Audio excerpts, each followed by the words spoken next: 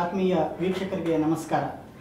Truth India dot news Kannada ಸುದ್ದಿತಾಣದಿಂದ ಎಲ್ರಿಗೂ ಸ್ವಾಗತ ಬಯಸ್ತೀವಿ ಇವತ್ತು ನಮ್ಮ ಜೊತೆಗೆ ಬಹುಭಾಷಾ ನಟ ಹಾಗೂ ಸದ್ಯ ರಾಜಕಾರಣದಲ್ಲಿ ಬ್ಯುಸಿಯಾಗಿರುವಂಥ ಪ್ರಕಾಶ್ ರಾಜ್ ಅವರು ಇದ್ದಾರೆ. ಚುನಾವಣೆ, ಲೋಕಸಭಾ ಚುನಾವಣೆ ಘೋಷಣೆ ಆಗಿದೆ. ಈ ಸಂದರ್ಭದಲ್ಲಿ ಬೆಂಗಳೂರು ಸೆಂಟ್ರಲ್ ಲೋಕಸಭಾ ಕ್ಷೇತ್ರದಿಂದ ಪ್ರಕಾಶ್ ರಾಜ್ ಅವರು ಸ್ವತಂತ್ರ ಅಭ್ಯರ್ಥಿಯಾಗಿ ಸ್ಪರ್ಧಿಸಿದ್ದಾರೆ.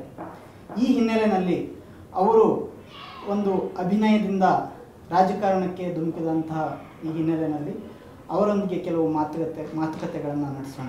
ನಮಸ್ಕಾರ ಸರ್. ನಮಸ್ಕಾರ. ಸರ್ ಎರಡು ವರ್ಷದ ಹಿಂದೆ ನಿಮ್ಮ ನಿಮ್ಮನ್ನು ರಾಜಕಾರಣಿಯಾಗಿ ಯಾರೂ ಕೂಡ ಊಹಿಸ್ಕೊಂಡಿರಲಿಲ್ಲ.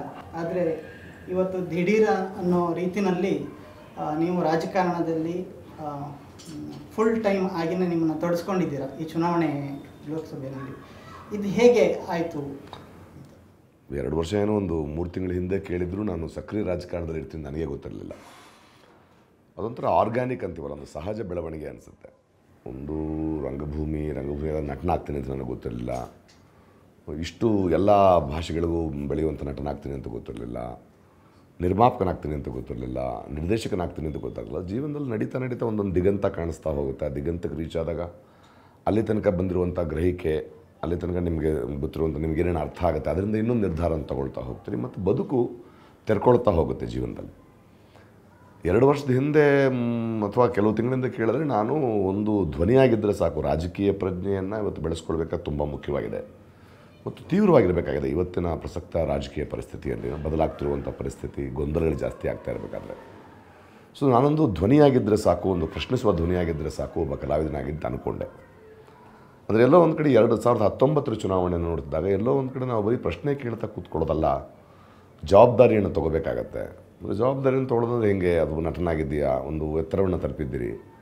ಆ ಕಂಫರ್ಟ್ ಝೋನ್ನ ಬಿಟ್ಟು ಬರೋದಾ ಅಂತ. ಕಂಫರ್ಟ್ ಝೋನ್ ಅನ್ನೋದೇನು ಒಬ್ಬ ನಟ.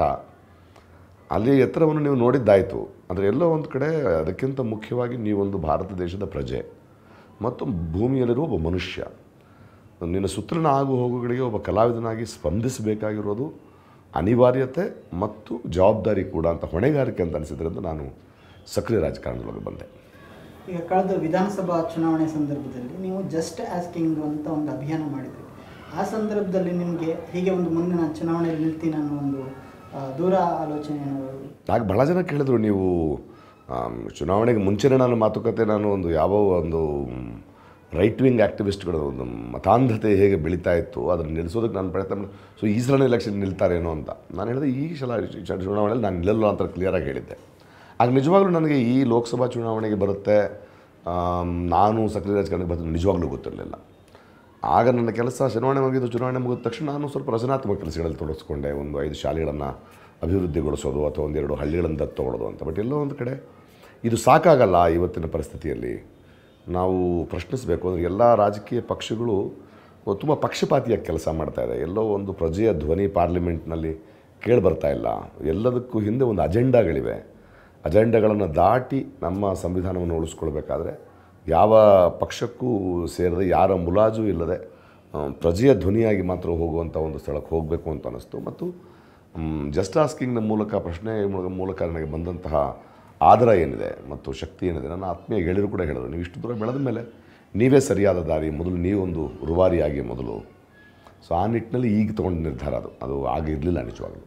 ಸಿನಿಮಾ ಕ್ಷೇತ್ರದಲ್ಲಿ ನೀವಿದ್ದಾಗ ನೀವು ಎಲ್ಲರಿಗೂ ಇಷ್ಟ ಆಗ್ತೀರಾ? ಒಬ್ಬ ನಟನಾಗಿ, ಒಬ್ಬ ಕಲಾವಿದನಾಗಿ. ಆದರೆ ರಾಜಕಾರಣ ಅಂದಾಗ ನೀವು ಕೆಲವರಿಗೆ ಮಾತ್ರ ಇಷ್ಟ ಆಗ್ತೀರಾ? ಹೀಗೆ ನೀವೊಂದು ಜನಪ್ರಿಯತೆ ಒಂದು ಎಲ್ಲೋ ಒಂದು ರೀತಿ ಅದಕ್ಕೆ ನಿಮಗೆ ಹೊಡೆತ ಬೀಳುತ್ತೆ ಅಂತ ಅನಿಸಿಲ್ಲ. ಅಥವಾ ಆ ಬಗ್ಗೆ ನೀವೇನು ಮಾಡಿದ್ರಿ ನೋಡಿ, ಒಬ್ಬ ಕಲಾವಿದನನ್ನು ಎಲ್ಲ ಭಾಷೆಯ, ಎಲ್ಲ ಧರ್ಮದ, ಎಲ್ಲ ವರ್ಗದ ಜನರು ಪ್ರೀತಿಸ್ತಾರೆ. ಅದೊಂದು ಮತ್ತು ಮತ್ತು ಅದರಿಂದ ನಾವು ತೊಗೊಳ್ಳೋದು ಒಬ್ಬ ನಟನಾಗಿ ಅಷ್ಟೇ. ಅದೊಂದು ಇಮೇಜ್ ಅಂತ ಹೇಳೋಕ್ಕಾಗಲ್ಲ. ಒಬ್ಬ ನಟನಾಗಿ ಒಂದಷ್ಟು ಭ್ರಮೇನೂ ಇರುತ್ತೆ. ಚೆನ್ನಾಗಿ ನಟಿಸ್ತಾರೆ, ಆ ಪಾತ್ರಗಳನ್ನು ನೋಡ್ತಾರೆ, ಒಳ್ಳೆಯ ಪಾತ್ರಗಳನ್ನು ಮಾಡ್ತಾನೆ, ರಾಷ್ಟ್ರ ಪ್ರಶಸ್ತಿ ಪಾತ್ರಗಳನ್ನು ಮಾಡ್ತಾನೆ, ಖಳನಾಯಕನಾಗೂ ಮಾಡ್ತಾನೆ ಹ್ಯೂಮರ್ ಆಗೂ ಮಾಡ್ತಾನೆ ಅಂತ. ಬಟ್ ಎಲ್ಲ ಒಂದು ಕಡೆ ನೀವು ವ್ಯಕ್ತಿಯಾಗಿ, ಪ್ರಜೆಯಾಗಿ ಯೋಚನೆ ಮಾಡಿದಾಗ ನೀವು ಜನಕ್ಕೆ ಗೊತ್ತಾಗ್ಬಿಟ್ಟು ನೀವು ಯಾವ, ನೀವು ಯಾರು ಅನ್ನೋದು. ಅದು ನೀವು ಯಾವ ನಿಲುವನ್ನು ತಗೊಳ್ತೀರಿ? ತುಂಬ ತಲ್ಲಣಗೊಂಡಿರುವಂತಹ ರಾಜಕೀಯ ಪರಿಸ್ಥಿತಿಯಲ್ಲಿ ಕೆಲವು ನಿಲುವುಗಳನ್ನು ತೊಗೊಳ್ಬೇಕಾಗತ್ತೆ. ಆ ನಿಲುವು ಕೆಲವರಿಗೆ ಇಷ್ಟ ಆಗುತ್ತೆ, ಕೆಲವರಿಗೆ ಇಷ್ಟ ಆಗಲ್ಲ. ಆ ಥರ ಎಲ್ಲರನ್ನೂ ಮೆಚ್ಚಿಸೋ ಒಂದು ಕೆಲಸ ಮಾಡೋದಕ್ಕಿಂತ ಒಬ್ಬ ನಟನಾಗಿ ಕೂಡ ಮೆಚ್ಚಿಸೋದು ಕೂಡ ನಿನ್ನ ಪ್ರತಿಭೆಯಿಂದ ನೀನು ಮೆಚ್ಚಲಿಕ್ಕೆ ಸಾಧ್ಯನೇ ಹೊರತು ಎಲ್ಲರನ್ನು ಮೆಚ್ಚೋದಕ್ಕೆ ಆ್ಯಕ್ಟ್ ಮಾಡೋದಲ್ಲ. ಅದೆಲ್ಲದಕ್ಕಿಂತ ಮುಖ್ಯವಾಗಿ ಬದುಕಿನಲ್ಲಿ ನಾವು ನಮಗೆ ಯಾಕೆ ಸುಳ್ಳು ಹೇಳ್ಕೊಳ್ತಾ ಹೋಗ್ಬೇಕು? ಜನಪ್ರಿಯತೆ ಅನ್ನೋದೇನು? ನೀನು ಏನೋ ಅದಕ್ಕೆ ನಿನಗೆ ಜನರ ಅಭಿ, ಆಧಾರ ಇರಬೇಕು. ಸೊ ಕೆಲವರು ಪಾಪ್ಯುಲಾರಿಟಿ ಹೋಗುತ್ತೆ ಅನ್ನೋದು ಕಳ್ಕೊಳ್ಳೋದೇನು ದೊಡ್ಡ ವಿಷಯ ಅಲ್ಲ. ನಿನ್ನ ವ್ಯಕ್ತಿತ್ವ, ನೀನು ಯಾರು, ಯಾವ ಮಾತುಗಳಿಗೆ ಯಾವ ಸತ್ಯಕ್ಕೆ ನೀನು ನಿಲ್ಲಬೇಕಾದ್ರೆ ಕೆಲವರು, ಕೆಲವ್ರಿಗೆ ಅಪ್ರಿಯವಾಗಿರುತ್ತೆ ಕೆಲವು ಸತ್ಯಗಳನ್ನ ಹೇಳಬೇಕಾದ್ರೆ. ಹಾಗಂತ ಸತ್ಯ ಹೇಳದೇ ಇರೋಕ್ಕಾಗಲ್ವಲ್ಲ? ಅಥವಾ ನಾನು ಯಾರು ಅಂತ ಹೇಳಿದ್ರೆ ಸುಳ್ಳು ಹೇಳ್ಕೊಂಡೇ ಬದುಕೋಕ್ಕಾಗಲ್ವಲ್ಲ? ಕಣ್ಣು ಮುಂದೆ ಏನೋ ನಡೀತಿರ್ಬೇಕಾದ್ರೆ ಸುಮ್ಮನೆ ಕೂತ್ಕೊಂಡಿರೋದು, ಇನ್ನೊಬ್ರಿಗೆ ಗೊತ್ತಾಗದಿದ್ರು ನಮ್ಮ ಮನಸ್ಸಾಕ್ಷಿಗೆ ಗೊತ್ತಾಗುತ್ತಲ್ವೇ? ನನ್ನ ಜೊತೆಯೇ ಇರುವ ನನ್ನ ಮನಸ್ಸಾಕ್ಷಿಗೆ ನಾನು ಉತ್ತರ ಕೊಡಬೇಕಲ್ವೇ? ಆ ನಿಟ್ಟಿನಲ್ಲಿ ನಾನು ಆ ನಿರ್ಧಾರನ ತಗೊಂಡೆ. ಅದರಲ್ಲಿ ಜನಪ್ರಿಯತೆ ಕಮ್ಮಿ ಆಗೋದಿರ್ಬೋದು. ಆದರೆ ಅಷ್ಟೇ ಮಟ್ಟಿಗೆ, ಅಷ್ಟೇ ಮಟ್ಟಿನ ಜನಪ್ರಿಯತೆಯೂ ಮತ್ತು ಗೌರವನೂ ಬೆಳೆದಿದೆ ಅನ್ನೋದು ಅಷ್ಟೇ ನಿಜ. ನೀವು ಕಳ್ಳರಾಗಿದ್ದರೆ ನಿನ್ನ ಕಳ್ಳ ಅಂದರೆ ತಪ್ಪಿಸ್ಕೊಳಕ್ಕೆ ನೋಡ್ಬೇಕು ನಾವು. ನಾವಲ್ಲ. ಯಾರೋ ಒಬ್ಬರು ಹೇಳಿದ ಮಾತ್ರಕ್ಕೆ ನೀವು ಅದು ಆಗೋಲ್ಲ. ನಾನೊಬ್ಬ ದೇಶದ್ರೋಹಿ ಅಂದ ಮಾತ್ರಕ್ಕೆ ನಾನು ದೇಶದ್ರೋಹಿ ಆಗಲ್ವಲ್ಲ. ಒಬ್ಬ ಹಿಂದೂ ವಿರೋಧ ಅಂತ ಯಾರೋ ಒಬ್ಬರು ನನ್ನಲ್ಲಿ ಅಪಪ್ರಚಾರ ಮಾಡಿದ ಮಾತ್ರಕ್ಕೆ ಯಾಕೆ ಅಪಪ್ರಚಾರ ಮಾಡ್ತಾರೆ ಅಂತ ಕೇಳಬೇಕು ನೀವು. ಅವರಿಗೆ ನನ್ನ ಪ್ರಶ್ನೆಗಳಲ್ಲಿ ಉತ್ತರ ಇಲ್ಲ. ಇವಾಗ ದೇಶಭಕ್ತಿ ಅನ್ನೋದು ಒಂದು ಧರ್ಮದ ಭಕ್ತಿ ಅನ್ನೋದು ಯಾರೋ ಒಬ್ಬರು ಸೊತ್ತೆ. ಯಾರಾದ್ರೂ ಒಬ್ಬರು ಸರ್ಟಿಫಿಕೇಟ್ ಕೊಡೋರೆ. ಭಾರತ ದೇಶದಲ್ಲಿ ನಾನು ಭಾರತ ದೇಶದಲ್ಲಿದ್ದು ಭಾರತ ದೇಶನ ಪ್ರೀತಿಸ್ತೀನಿ ಅನ್ನೋದಕ್ಕೆ ನಾನು ಇವ್ರಿಗೆಲ್ಲ ಯಾರಿಗೆ ಪುರಾವೆ ಕೊಡಬೇಕೆ? ಹಾಗಲ್ವ? ಭಾರತ ದೇಶವನ್ನು ತುಂಬ ತೀವ್ರವಾಗಿ ಪ್ರೀತಿಸ್ತಿರೋ ಕಾರಣಕ್ಕೇ ಕೆಲವು ದುರುಳ ಶಕ್ತಿಗಳು ಅದನ್ನು ಹತ್ತು ಹಾಳು ಮಾಡೋಕ್ಕೆ ಬಂದಾಗ ನಿಂತದ್ದು ನಮ್ಮದೇ ದೇಶ ಪ್ರೇಮ ಅದು. ಅಲ್ವೇ? ಅದು ದೇಶ ಪ್ರೇಮ ಅಂದಾಗ ಹಾಗಿರ್ತದೋ? ಅವನ ದೃಷ್ಟಿ ಸೊ ಅವನಿಗೇನಾಗುತ್ತೆ? ಇವನನ್ನು ಹೆಂಗೆ ನಾವು ಅಪಪ್ರಚಾರ ಮಾಡೋದು? ಸೊ ಸುಳ್ಳುಗಳನ್ನು ಹುಟ್ಟಿಸೋದು, ಇವರು ಹಿಂದೂ ವಿರೋಧಿ, ನಾವು ಯಾವ ಧರ್ಮದ ವಿರೋಧಿಯಾಗಿದ್ದೇವೆ ಆತಂಕವಾದ ಮತ್ತು ತೀವ್ರವಾದ ಯಾವ ಧರ್ಮದಲ್ಲಿದ್ದರೂ ತಪ್ಪು ಅಂತ ಹೇಳೋದೇ ನಾವು. ಅದು ಮೊನ್ನೆ ಪುಲಾಮಾ ಮೇಲೆ ದಾಳಿ ನಡೆದಂತಹ ಇಸ್ಲಾಂ ತೀವ್ರಗಾಮಿಗಳಾಗಿದ್ದರೂ ತಪ್ಪು ತಪ್ಪೆ. ಅಥವಾ ಒಂದು ಕ್ರ, ಕ್ರಿಶ್ಚಿಯನ್ರು ಮಾಡಿದರೂ ತಪ್ಪು. ಯಾಕಂದರೆ ವಿಕೃತಿ ಇರೋ ಮನುಷ್ಯ ಎಲ್ಲ ಕಡೆ ಇರ್ತಾನೆ, ಯಾವ ಧರ್ಮದಲ್ಲಿ ಇರ್ತಾನೆ ಅಂತ ಹೇಳೋಕ್ಕಾಗಲ್ಲ. ನಾವು ಆ ಮನುಷ್ಯನ ವಿಕೃತಿಯ ವಿರುದ್ಧ ಇದ್ದೇವೆ. ಅಲ್ವೇ? ಅದು ಕಾಲಾನುಕಾಲಕ್ಕೆ ಇಡೀ ಪ್ರಪಂಚದಲ್ಲಿ ಮನುಕುಲದಲ್ಲಿ ನಡೀತಾ ಇರೋದನ್ನೇ. ಅದನ್ನು ಎದುರಿಸಿದಾಗೆಲ್ಲ ಆ ಬಣಕ್ಕೆ ಸೇರಿದವರು ಇವನನ್ನು ದೇಶ ವಿರೋಧಿ ಅಂದರೆ ಆ ದೃಷ್ಟಿಯಿಂದ ನೋಡ್ಬೋದು. ಅನ್ನೋ ಕಾರಣಕ್ಕೆ ಅಪಪ್ರಚಾರ ಮಾಡ್ತಾ ಇರ್ತಾರೆ. ಅದನ್ನು ಯಂಗ್ ಯುವಕರು ಕೂಡ ಪಾಪ ಅವ್ರ ತಲೆಯಲ್ಲಿ ತುಂಬಕ್ಕಾಗುತ್ತೆ ತುಂಬ್ತಾರೆ ಅದನ್ನು. ಕೆಲವು ಸಲ ಈ ನೆಗೆಟಿವ್ ಎಲಿಮೆಂಟ್ಸ್ಗಳು ಅವ್ರಿಗೆ ಇಷ್ಟ ಆಗುತ್ತೆ. ಸೊ ವಿವೇಚನೆಯನ್ನು ಕಳ್ಕೊಳ್ತಾರೆ. ಆ ವಿವೇಚನೆಯಿಂದ ನೋಡಬೇಕಾಗತ್ತೆ. ನಾನು ಯಾವತ್ತೂ ಅದು ಹೇಳ್ತೀನಿ ನೋಡಿ, ಒಂದು ನಾನು ಇದರಿಂದ ವಿಚಲಿತನಾಗೋದಿಲ್ಲ ಒಂದು ಸುಳ್ಳನ್ನು ಅವರು ನೂರು ಸಲ ಹೇಳೋದಾದರೆ, ನಾನು ಒಂದು ಸತ್ಯವನ್ನು ಸಾವಿರ ಸಲ ಹೇಳುವಂಥ ತಾಳ್ಮೆ ನನಗಿದೆ. ನೋಡೋಣ ಯಾವುದು ಗೆಲ್ಲುತ್ತೆ ಅಂತ. ಸರ್ ಈಗ ಚುನಾವಣೆ ಘೋಷಣೆ ಆಗಿದೆ. ಇವತ್ತು, ಇನ್ನು ಒಂದು ತಿಂಗಳು ಇರುವಾಗ ಇಡೀ ದೇಶದಲ್ಲಿ ಚುನಾವಣೆಯ ಕಾವು ಏರ್ತಾ ಇರುವಾಗ ಚುನಾವಣೆಯ ವಿಷಯ, ಆದ್ಯತೆಯ ವಿಷಯ ನಿಮ್ಮ ದೃಷ್ಟಿನಲ್ಲಿ ಯಾವುದು? ನೋಡಿ, ಭಾರತ ದೇಶದಲ್ಲಿ ಕಳೆದ ಎಪ್ಪತ್ತು ವರ್ಷಗಳಿಂದ ನಾವು ರಾಜಕೀಯ ಪರಿಸ್ಥಿತಿಯನ್ನು ವಿಶ್ಲೇಷಿಸಿದಾಗ, ಒಂದು ಸತ್ಯವನ್ನು ನಾವು ಒಪ್ಕೊಳ್ಳೋದು ತುಂಬ ಚಾಪೆ ಕೆಳಗೆ ಹಾಕ್ತಾ ಇದ್ದೀವಿ ಅದು ರಾಷ್ಟ್ರೀಯ ಪಕ್ಷಗಳು ಕೆಲಸ ಮಾಡ್ತಾ ಇಲ್ಲ. ಯಾವ ರಾಜರು, ಯಾವ ಸಾಮಂತರಿಂದ ಭಾರತ ದೇಶವನ್ನು ನಾವು ಬಿಡುಗಡೆ ಮಾಡಬೇಕು ಅಂತ ಪ್ರಜಾಪ್ರಭುತ್ವ ಬಂತೋ ಈ ರಾಷ್ಟ್ರೀಯ ಪಕ್ಷಗಳು ಆ ಹೆಸರಿನಲ್ಲಿ ಇನ್ನೊಂದು ಆಗಿದೆ ಅಷ್ಟೆ. ಸಿಂಪಲ್ ಥಿಂಗ್ ನಮ್ಮ ಜನಕ್ಕೆ ಹೇಗೆ ಮರ್ತು ಹೋಗ್ಬಿಟ್ಟಿದ್ದೀವಿ ನಾವು ಅಂದರೆ ರಾಷ್ಟ್ರದ ಪ್ರ, ನಮ್ಮ ದೇಶದ ಪ್ರಧಾನಿಯನ್ನು ಸಾಮಾನ್ಯ ಜನರಲ್ಲ ಆರಿಸೋದು. ಒಬ್ಬ ಮುಖ್ಯಮಂತ್ರಿಯನ್ನು ಸಾಮಾನ್ಯ ಜನರಲ್ಲ ಆರಿಸೋದು. ಸಂವಿಧಾನದಲ್ಲಿ ಯಾಕಾಗಿತ್ತು ಅಂದರೆ ಪ್ರತಿಯೊಂದು ಕ್ಷೇತ್ರದ ಪ್ರತಿನಿಧಿಗಳನ್ನು ಆರಿಸಬೇಕು. ಅಲ್ಲಿಯ ಸಮಸ್ಯೆಗಳು, ಅಲ್ಲಿಯ ಆಶೋತ್ತರಗಳು, ಅಲ್ಲಿಯ ವಿಷನ್ ಏನಬೇಕು ಅದನ್ನು ತಿಳಿದಂತಹ ಒಬ್ಬ ನಾಯಕರನ್ನು ಆರಿಸಿದರೆ, ಅವರು ಐನೂರ ನಲವತ್ತರಕ್ಕೆ ಮೇಲಿರುವಂಥ ಅವರು ಸೇರಿ ಅವರು ತಮ್ಮ ಪ್ರಧಾನಿಯನ್ನು ಆರಿಸಿ ಒಂದು ಕನ್ಸೆನ್ಸಸ್ನಲ್ಲಿ ರಾಜಕೀಯ ಆಡಳಿತ ನಡೆಸಬೇಕೆ ಹೊರತು ಈಗ ನೇರವಾಗಿ ಪ್ರಧಾನಿಯನ್ನೇ ಒಬ್ಬ ಸರ್ವಾಧಿಕಾರಿಯನ್ನು ಆರಿಸೋದು ಯಾವಾಗ್ಬಿಟ್ಟಿದೆ ಹಾಗಾಗಲ್ಲ ಅದು. ಸೊ ಈಗ ಇವತ್ತಿನ ಪರಿಸ್ಥಿತಿಯಲ್ಲಿ ನಾವು ಯೋಚನೆ ಮಾಡಬೇಕಾಗಿರೋದು ಇದು ಇಡೀ ಭ್ರಷ್ಟಾಚಾರಕ್ಕೆ ಮತ್ತು ಇಡೀ ದುರಾಡಳಿತಕ್ಕೆ ಮೂಲ ಕಾರಣ ನಮ್ಮ ಚುನಾವಣೆ ಪ್ರಕ್ರಿಯೆ ಆಗಿದೆ ಇವತ್ತೊಂದು ನೋಡಿ ಬೆಂಗಳೂರು ಸೆಂಟ್ರಲ್ನಂಥ ಕ್ಷೇತ್ರದಲ್ಲಿ ಐವತ್ತೈದು ಪರ್ಸೆಂಟ್ ಜನ ವೋಟ್ ಮಾಡ್ತಾ ಇದ್ದಾರೆ. ಅಂದರೆ ನಲವತ್ತೈದು ಪರ್ಸೆಂಟು ಜನ ಸಕ್ರಿಯ ರಾಜಕಾರಣದಲ್ಲಿ ಅಥವಾ ಓಟಿನಲ್ಲಿ ಇಲ್ಲವೇ ಇಲ್ಲ. ಇನ್ನು ಐವತ್ತೈದು ಪರ್ಸೆಂಟ್ನಲ್ಲಿ ಒಂದು ಮೂವ- ಮೂವತ್ತು, ಮೂವತ್ತೈದು ಪರ್ಸೆಂಟು ಬರೀ ಸ್ಲಮ್ಗಳಲ್ಲಿರುವಂಥ ಬಡವರು. ಆ ಬಡವರ ಓಟನ್ನ ಕೊಂಡ್ಕೊಳ್ತಾರೆ. ಅವರನ್ನು ಅದೇ ಸ್ಥಿತಿಯಲ್ಲಿ ಇಟ್ಟುಕೊಂಡು ದುಡ್ಡು ಕೊಟ್ಟು. ಅಂದರೆ ಒಂದು ಹದಿನೈದು, ಇಪ್ಪತ್ತು ಪರ್ಸೆಂಟ್ ಓಟ್ ತೊಗೊಂಡು ನಾಯಕನಾಗ್ತಾನೆ, ಒಂದು ಎಂಬತ್ತು ಪರ್ಸೆಂಟ್ ನಮಗೆ ನಾಯಕನಾಗಿಲ್ಲ. ಅಂದರೆ ಎಲ್ಲೋ ಒಂದು ಕಡೆ ನಾವು ಒಂದು ಪ್ರಜಾಪ್ರಭುತ್ವದಲ್ಲಿ ಮೆಜಾರಿಟಿ ಆರಿಸಿದಂಥ ನಾಯಕ ಇಲ್ಲವೇ ಇಲ್ಲ ಇಲ್ಲಿ. ಈ ಲೆಕ್ಕಾಚಾರಗಳಿದೆಯಲ್ಲ. ಮತ್ತು ಎಲ್ಲ ಪ್ರತಿನಿಧಿಗಳು ಎಷ್ಟೋ ಲಕ್ಷಾಂತರ ಜನರ ಓಟನ್ನು ತಗೊಂಡು ಗೆದ್ದ ನಂತರ ಒಂದು ಪಕ್ಷಕ್ಕೆ ಒಂದು ಓಟ್ ಆಗ್ತಾ ಇದ್ದಾರೆ. ಸೊ ಸೆಂಟರ್ನಲ್ಲಿ ಕೇಂದ್ರದಲ್ಲಿ ತೆಗೆದುಕೊಳ್ಳುವಂಥ ನಿರ್ಧಾರಗಳು ಅದು ಪಕ್ಷದ ಪಕ್ಷಪಾತಿಯಾಗಿದೆಯಾ, ಜನರ ಪರವಾಗಿದೆಯಾ ಅಂತ ಯಾರು ಕೇಳ್ತಾನೆ ಇಲ್ಲ. ಮನಸ್ಸಾಕ್ಷಿಯನ್ನು ಮರೆತು ಯಾವುದೋ ಒಂದು ಹೈಕಮಾಂಡ್ ಹೇಳಿದ್ರೆ ಅಥವಾ ಇದು ಪಕ್ಷಕ್ಕೆ ಬದ್ಧರಾಗಿ ಅವರು ಉತ್ತರ ಕೊಡ್ತಿದ್ದಾರೆ ಹೊರತು ಜನರ ಪರವಾಗಿದೆಯಾ ಅಂತ ಯಾರು ಯೋಚನೆ ಮಾಡ್ತಾ ಇಲ್ಲ. ಡಿಮಾನಿಟೈಸೇಷನ್ ಅಂತಿದೆ, ಅದು ತಪ್ಪು ಅಂತ ಆಳುವ ಪಕ್ಷದ ಒಬ್ಬನೂ ಮಾತಾಡಲ್ಲ ನೋಡಿ. ಅರ್ಥವಾಯ್ತು ನಿಮಗೆ? ಅಂದರೆ ಅವರು ಪಕ್ಷಕ್ಕೆ ಬದ್ಧರಾಗಿರ್ತಾರೆ, ಅಂದರೆ ಜನಕ್ಕೆ ಯಾರನ್ನು ಪ್ರತಿನಿಧಿಸುತ್ತಿದ್ದೀವೋ ಆ ಜನರಕ್ಕೆ ಬದ್ಧ, ಬದ್ಧರಾಗದೆ. ಅವರಿಗೆ ಉತ್ತರ ಕೊಡಬೇಕು, ಅವರಿಗೆ ನಾವು ಹೊಣೆಗಾರಿಕೆ ನಡ್ಕೊಳ್ಬೇಕು ಅಂತಿಲ್ಲದೆ ಈ ನಿಟ್ಟಿನಲ್ಲಿ we have to change the system so ಇದು ಭಾಳ ಮುಖ್ಯವಾಗಿ ಜನ, ತುಂಬ ಮುಖ್ಯವಾಗಿ ಈ ಚುನಾವಣೆಯಲ್ಲಿ ನೋಡಬೇಕಾಗಿರೋದು ನಿಮ್ಮ ಪ್ರತಿನಿಧಿ ಯಾರು? ಈ ಹಿಂದೆ ಏನು ಮಾಡಿದ್ದಾರೆ? ಏನು ಮಾತಾಡ್ತಾರೆ ಇವಾಗ ನೋಡಿ, ನಮ್ಮ ಇದರಲ್ಲೇ ಮೋದಿಯವರ ಬಿ ಜೆ ಪಿ ಪಕ್ಷದಿಂದ ಪಿ ಸಿ ಮೋಹನ್ ಅವರು ಸ್ಪರ್ಧಿಸ್ತಾ ಇದ್ದಾರೆ ಅಂತ ಕೇಳಿಬರುತ್ತೆ ಅವರು ಈ ಐದು ವರ್ಷದ ರಿಪೋರ್ಟ್ ಕಾರ್ಡ್ ಕೇಳಿದ್ರೆ ಪುಲಾಮಾ ದಾಳಿಯನ್ನು ಯಶಸ್ವಿಯಾಗಿ ನಡೆಸಿದ ಮೋದಿಯವರಿಗೆ ಅವರಿಗೆ ನೀವು ಓಟ್ ಹಾಕಬೇಕು. ಅಲ್ರಿ, ನಾವು ನಿಮ್ಮನ್ನು ಗೆಲ್ಸಕ್ಕೆ ಏನು ಮಾಡಿದಿರಿ ಹೇಳಿ ಐದು ವರ್ಷ? ಅಲ್ಲಲ್ಲ ಮೋದಿಯವರ ಮೋದಿ ಬಂದು ರೀ ಬೆಂಗಳೂರು ಸೆಂಟ್ರಲ್ನ ಯಾವಾಗಲೂ ಇನ್ನೊಬ್ಬರಿಂದ ಬಚ್ಚಿಟ್ಕೊಳ್ಳೋದು ಇನ್ನೊಬ್ಬರ ಅಲೆಯಲ್ಲಿ ನಾನು ಗೆದ್ದೆ ಅನ್ನೋದಕ್ಕಿಂತ ಒಂದು ಕೇವಲವಾದ ಮತ್ತು ನೀಚತನವಾದ ಒಂದು ಪ್ರಣಾಳಿಕೆಯಲ್ಲಿ ಬರುತ್ತೆ ನಮಗೆ. ಇನ್ನೊಂದು ರಾಜ್ಯ, ನೋಡಿ, ಇಡೀ ಭಾರತ ದೇಶ ನೀವು ಅರ್ಥ ಮಾಡಿಕೊಂಡ್ರೆ ಬೈದಲ್ಲಿ ಓಟ್ ಆಗ್ತಾ ನೋಡಿ. ಎಲ್ಲ ಹಿಂದೂಗಳು ತಪ್ಪಲ್ಲ. ಆದರೆ ಕೆಲವು ಹಿಂದುತ್ವವಾದಿಗಳು ಆ ಹಿಂದೂಗಳ ತಲೆಗಳಲ್ಲಿ ಈ ಥರ ಅಲ್ಪಸಂಖ್ಯಾತರು ಬಂದರೆ, ಕ್ರಿಶ್ಚಿಯನ್ರು, ಮುಸಲ್ಮಾನರು, ದಲಿತರು ಬಂದರೆ ನಮ್ಮ ಧರ್ಮ ಹಾಳಾಗೋಗುತ್ತೆ. ನಮ್ಮ ಸಂಸ್ಕೃತಿ ಹಾಳೋದು ಏನು ಇವ್ರು ಗತಿಗೆ ತೊಗೊಂಡೋಗ್ತಾರೆ. ಅಯ್ಯೋ ಹಾಗಾಗತ್ತೆ ಅಂತ ಹೆದರಿಕೆಯಲ್ಲಿ ಅವ್ರು ಆಗ್ತಿರೋದು ಒಟ್ಟು. ಇಲ್ಲಿ ಅವರು ಅಯ್ಯೋ ಅವ್ರು ಬಂದುಬಿಟ್ರೆ ನಮ್ಮನ್ನು ತುಳಿದು ಹಾಕ್ಬಿಡ್ತಾರೆ. ನಮ್ಮನ್ನು ಪಾಕಿಸ್ತಾನಕ್ಕೆ ಕಳಿಸ್ಬಿಡ್ತಾರೆ. ನಮ್ಮನ್ನು ದೇಶಾಟನೆ ಮಾಡಿಬಿಡ್ತಾರೆ. ಅನ್ನೋ ಬೈಕ್ ಇವರು ಬೇರೆ ದಾರಿಯಲ್ಲಿ ಅಂಗಡಿ ತಗೊಂಡು ಕೂತ್ಕೊಂಡಿದೆ ಒಂದು ಕಾಂಗ್ರೆಸ್ ಪಕ್ಷ. ಅಲ್ಲಿಗೆ ಓಟ್ ಆಗೋದು ಅಂದರೆ ಆಲ್ಟರ್ನೇಟಿವ್ ಇವರಿಬ್ಬರೇನ ಇಬ್ಬರೂ ಕಾಸ್ಟ್ ಪಾಲಿಟಿಕ್ಸೇ ಮಾಡ್ತಾ ಇರೋರು. ಸೊ ಇದನ್ನು ವಿವೇಚನೆಯಿಂದ ಯೋಚನೆ ಮಾಡಬೇಕಾಗಿದೆ ಇವತ್ತಿನ ಜನ. ನಮ್ಮ ನಾಯಕರು ಯಾರು? ನಮ್ಮನ್ನು ಪ್ರತಿನಿಧಿಸೋರು ಯಾರು? ಇವತ್ತು ರಿಪೋರ್ಟ್ ಕಾರ್ಡ್ ಕೊಡ್ತಾರೆ. ಐದು ವರ್ಷಕ್ಕೆ ಒಂದ್ಸಲ ಯಾಕೆ ಬರ್ತಾ ಇದ್ದಾರೆ ಪ್ರತಿ ಆರು ತಿಂಗಳಿಗೆ ಯಾಕೆ ರಿಪೋರ್ಟ್ ಕೊಡಿ ಇವತ್ತು ಜನರಿಗೆ ಹೇಳ್ತೀನಿ. ಆರು ತಿಂಗಳಿಗೆ ಒಂದು ಸಲ ನಾನು ರಿಪೋರ್ಟ್ ಕಾರ್ಡ್ ಕೊಡ್ತೇನೆ ನಿಮಗೆ. ಒಬ್ಬ ಈ ಕ್ಷೇತ್ರದ ಎಂ ಪಿ ಆಗಿ ಆರು ತಿಂಗಳಿಗೆ ಒಂದು ಸಲ ಏನೇನು ಕೆಲಸ ಮಾಡಿದ್ದೇನೆ? ಎಂ ಪಿ ಲ್ಯಾಡ್ ಫಂಡ್ ಅಂತ ಬರುತ್ತೆ. ಇಪ್ಪತ್ತೈದು ಕೋಟಿ ಬರುತ್ತೆ ವರ್ಷಕ್ಕೆ ಐದು ಕೋಟಿ ಒಬ್ಬ ಎಂ ಪಿಗೆ ತನಗಿಷ್ಟ ಬಂದಂತೆ ಖರ್ಚು ಮಾಡೋದು ಹಂಗೆ ಮಾಡಬಾರ್ದು. ಜನರ ಜೊತೆ ಇರಬೇಕು ಸಿವಿಕ್ ಸೊಸೈಟಿಯನ್ನು ತೊಗೊಳ್ಬೇಕು ಯಾವುದಕ್ಕೆ ಖರ್ಚು ಮಾಡ್ತಾ ಇದ್ದೀವಿ ಏನಕ್ಕೆ ಬೇಕು ಅಂತ ಒಂದು ಚರ್ಚೆ ಆಗಬೇಕು ಒಂದು ಓಪನ್ ಬುಕ್ ಇರಬೇಕು ಆರು ತಿಂಗಳ ಮುಂಚೆ.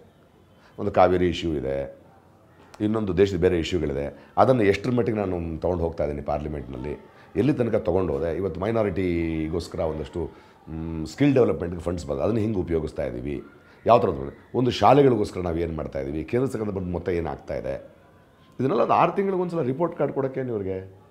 ಐದು ವರ್ಷ ಆದ ತಕ್ಷಣ ಅಲ್ಲಿ ತನಕ ಏನು ದಿಢೀರಂತ ಪುಲಾಮಾ ದಾಳಿಯಿಂದ ಮತ್ತೆ ನಮ್ಮನ್ನು ಆರಿಸಿ ಅಂದರೆ ಇಲ್ಲಿ ತನಕ ಕೊಟ್ಟರು ಆಶ್ವಾಸನೆಗಳೇನಾಗಬೇಕು ಸೊ ಜನ ಯೋಚನೆ ಮಾಡಬೇಕು ಯಾಕಂದರೆ ನೋಡಿ ಈಗ ಈ ಚುನಾವಣೆ ಅವ್ರು ಸರಿ ಇಲ್ಲ, ಇವ್ರು ಸರಿ ಅಂತ ಬಯೋದಕ್ಕಿಂತ ನಾವು ಸರಿ ಇಲ್ಲ ಅದನ್ನು ಅರ್ಥ ಮಾಡ್ಕೊಳ್ಬೇಕಾಗಿದೆ. ಯಾಕಂದರೆ ಮೂಲಭೂತವಾಗಿ ತಪ್ಪು ಮಾಡ್ತಿರೋರು ನಾವು. ಎಲೆಕ್ಷನ್ ಅಂದರೆ ಹಾಲಿಡೇನೆ ಒಂದು ಓಟು, ಒಂದು ಮತ ಅಂದರೆ ಏನದು? ಅದು ನಿಮ್ಮ ಭಾಷೆ. ನಿಮ್ಮ ನಿಲುವು. ನಿಮ್ಮ ನಿಮ್ಮ ಬದ್ಧತೆ. ನಿಮ್ಮ ಒಂದು ಜಡ್ಜ್ಮೆಂಟ್ ಅದು.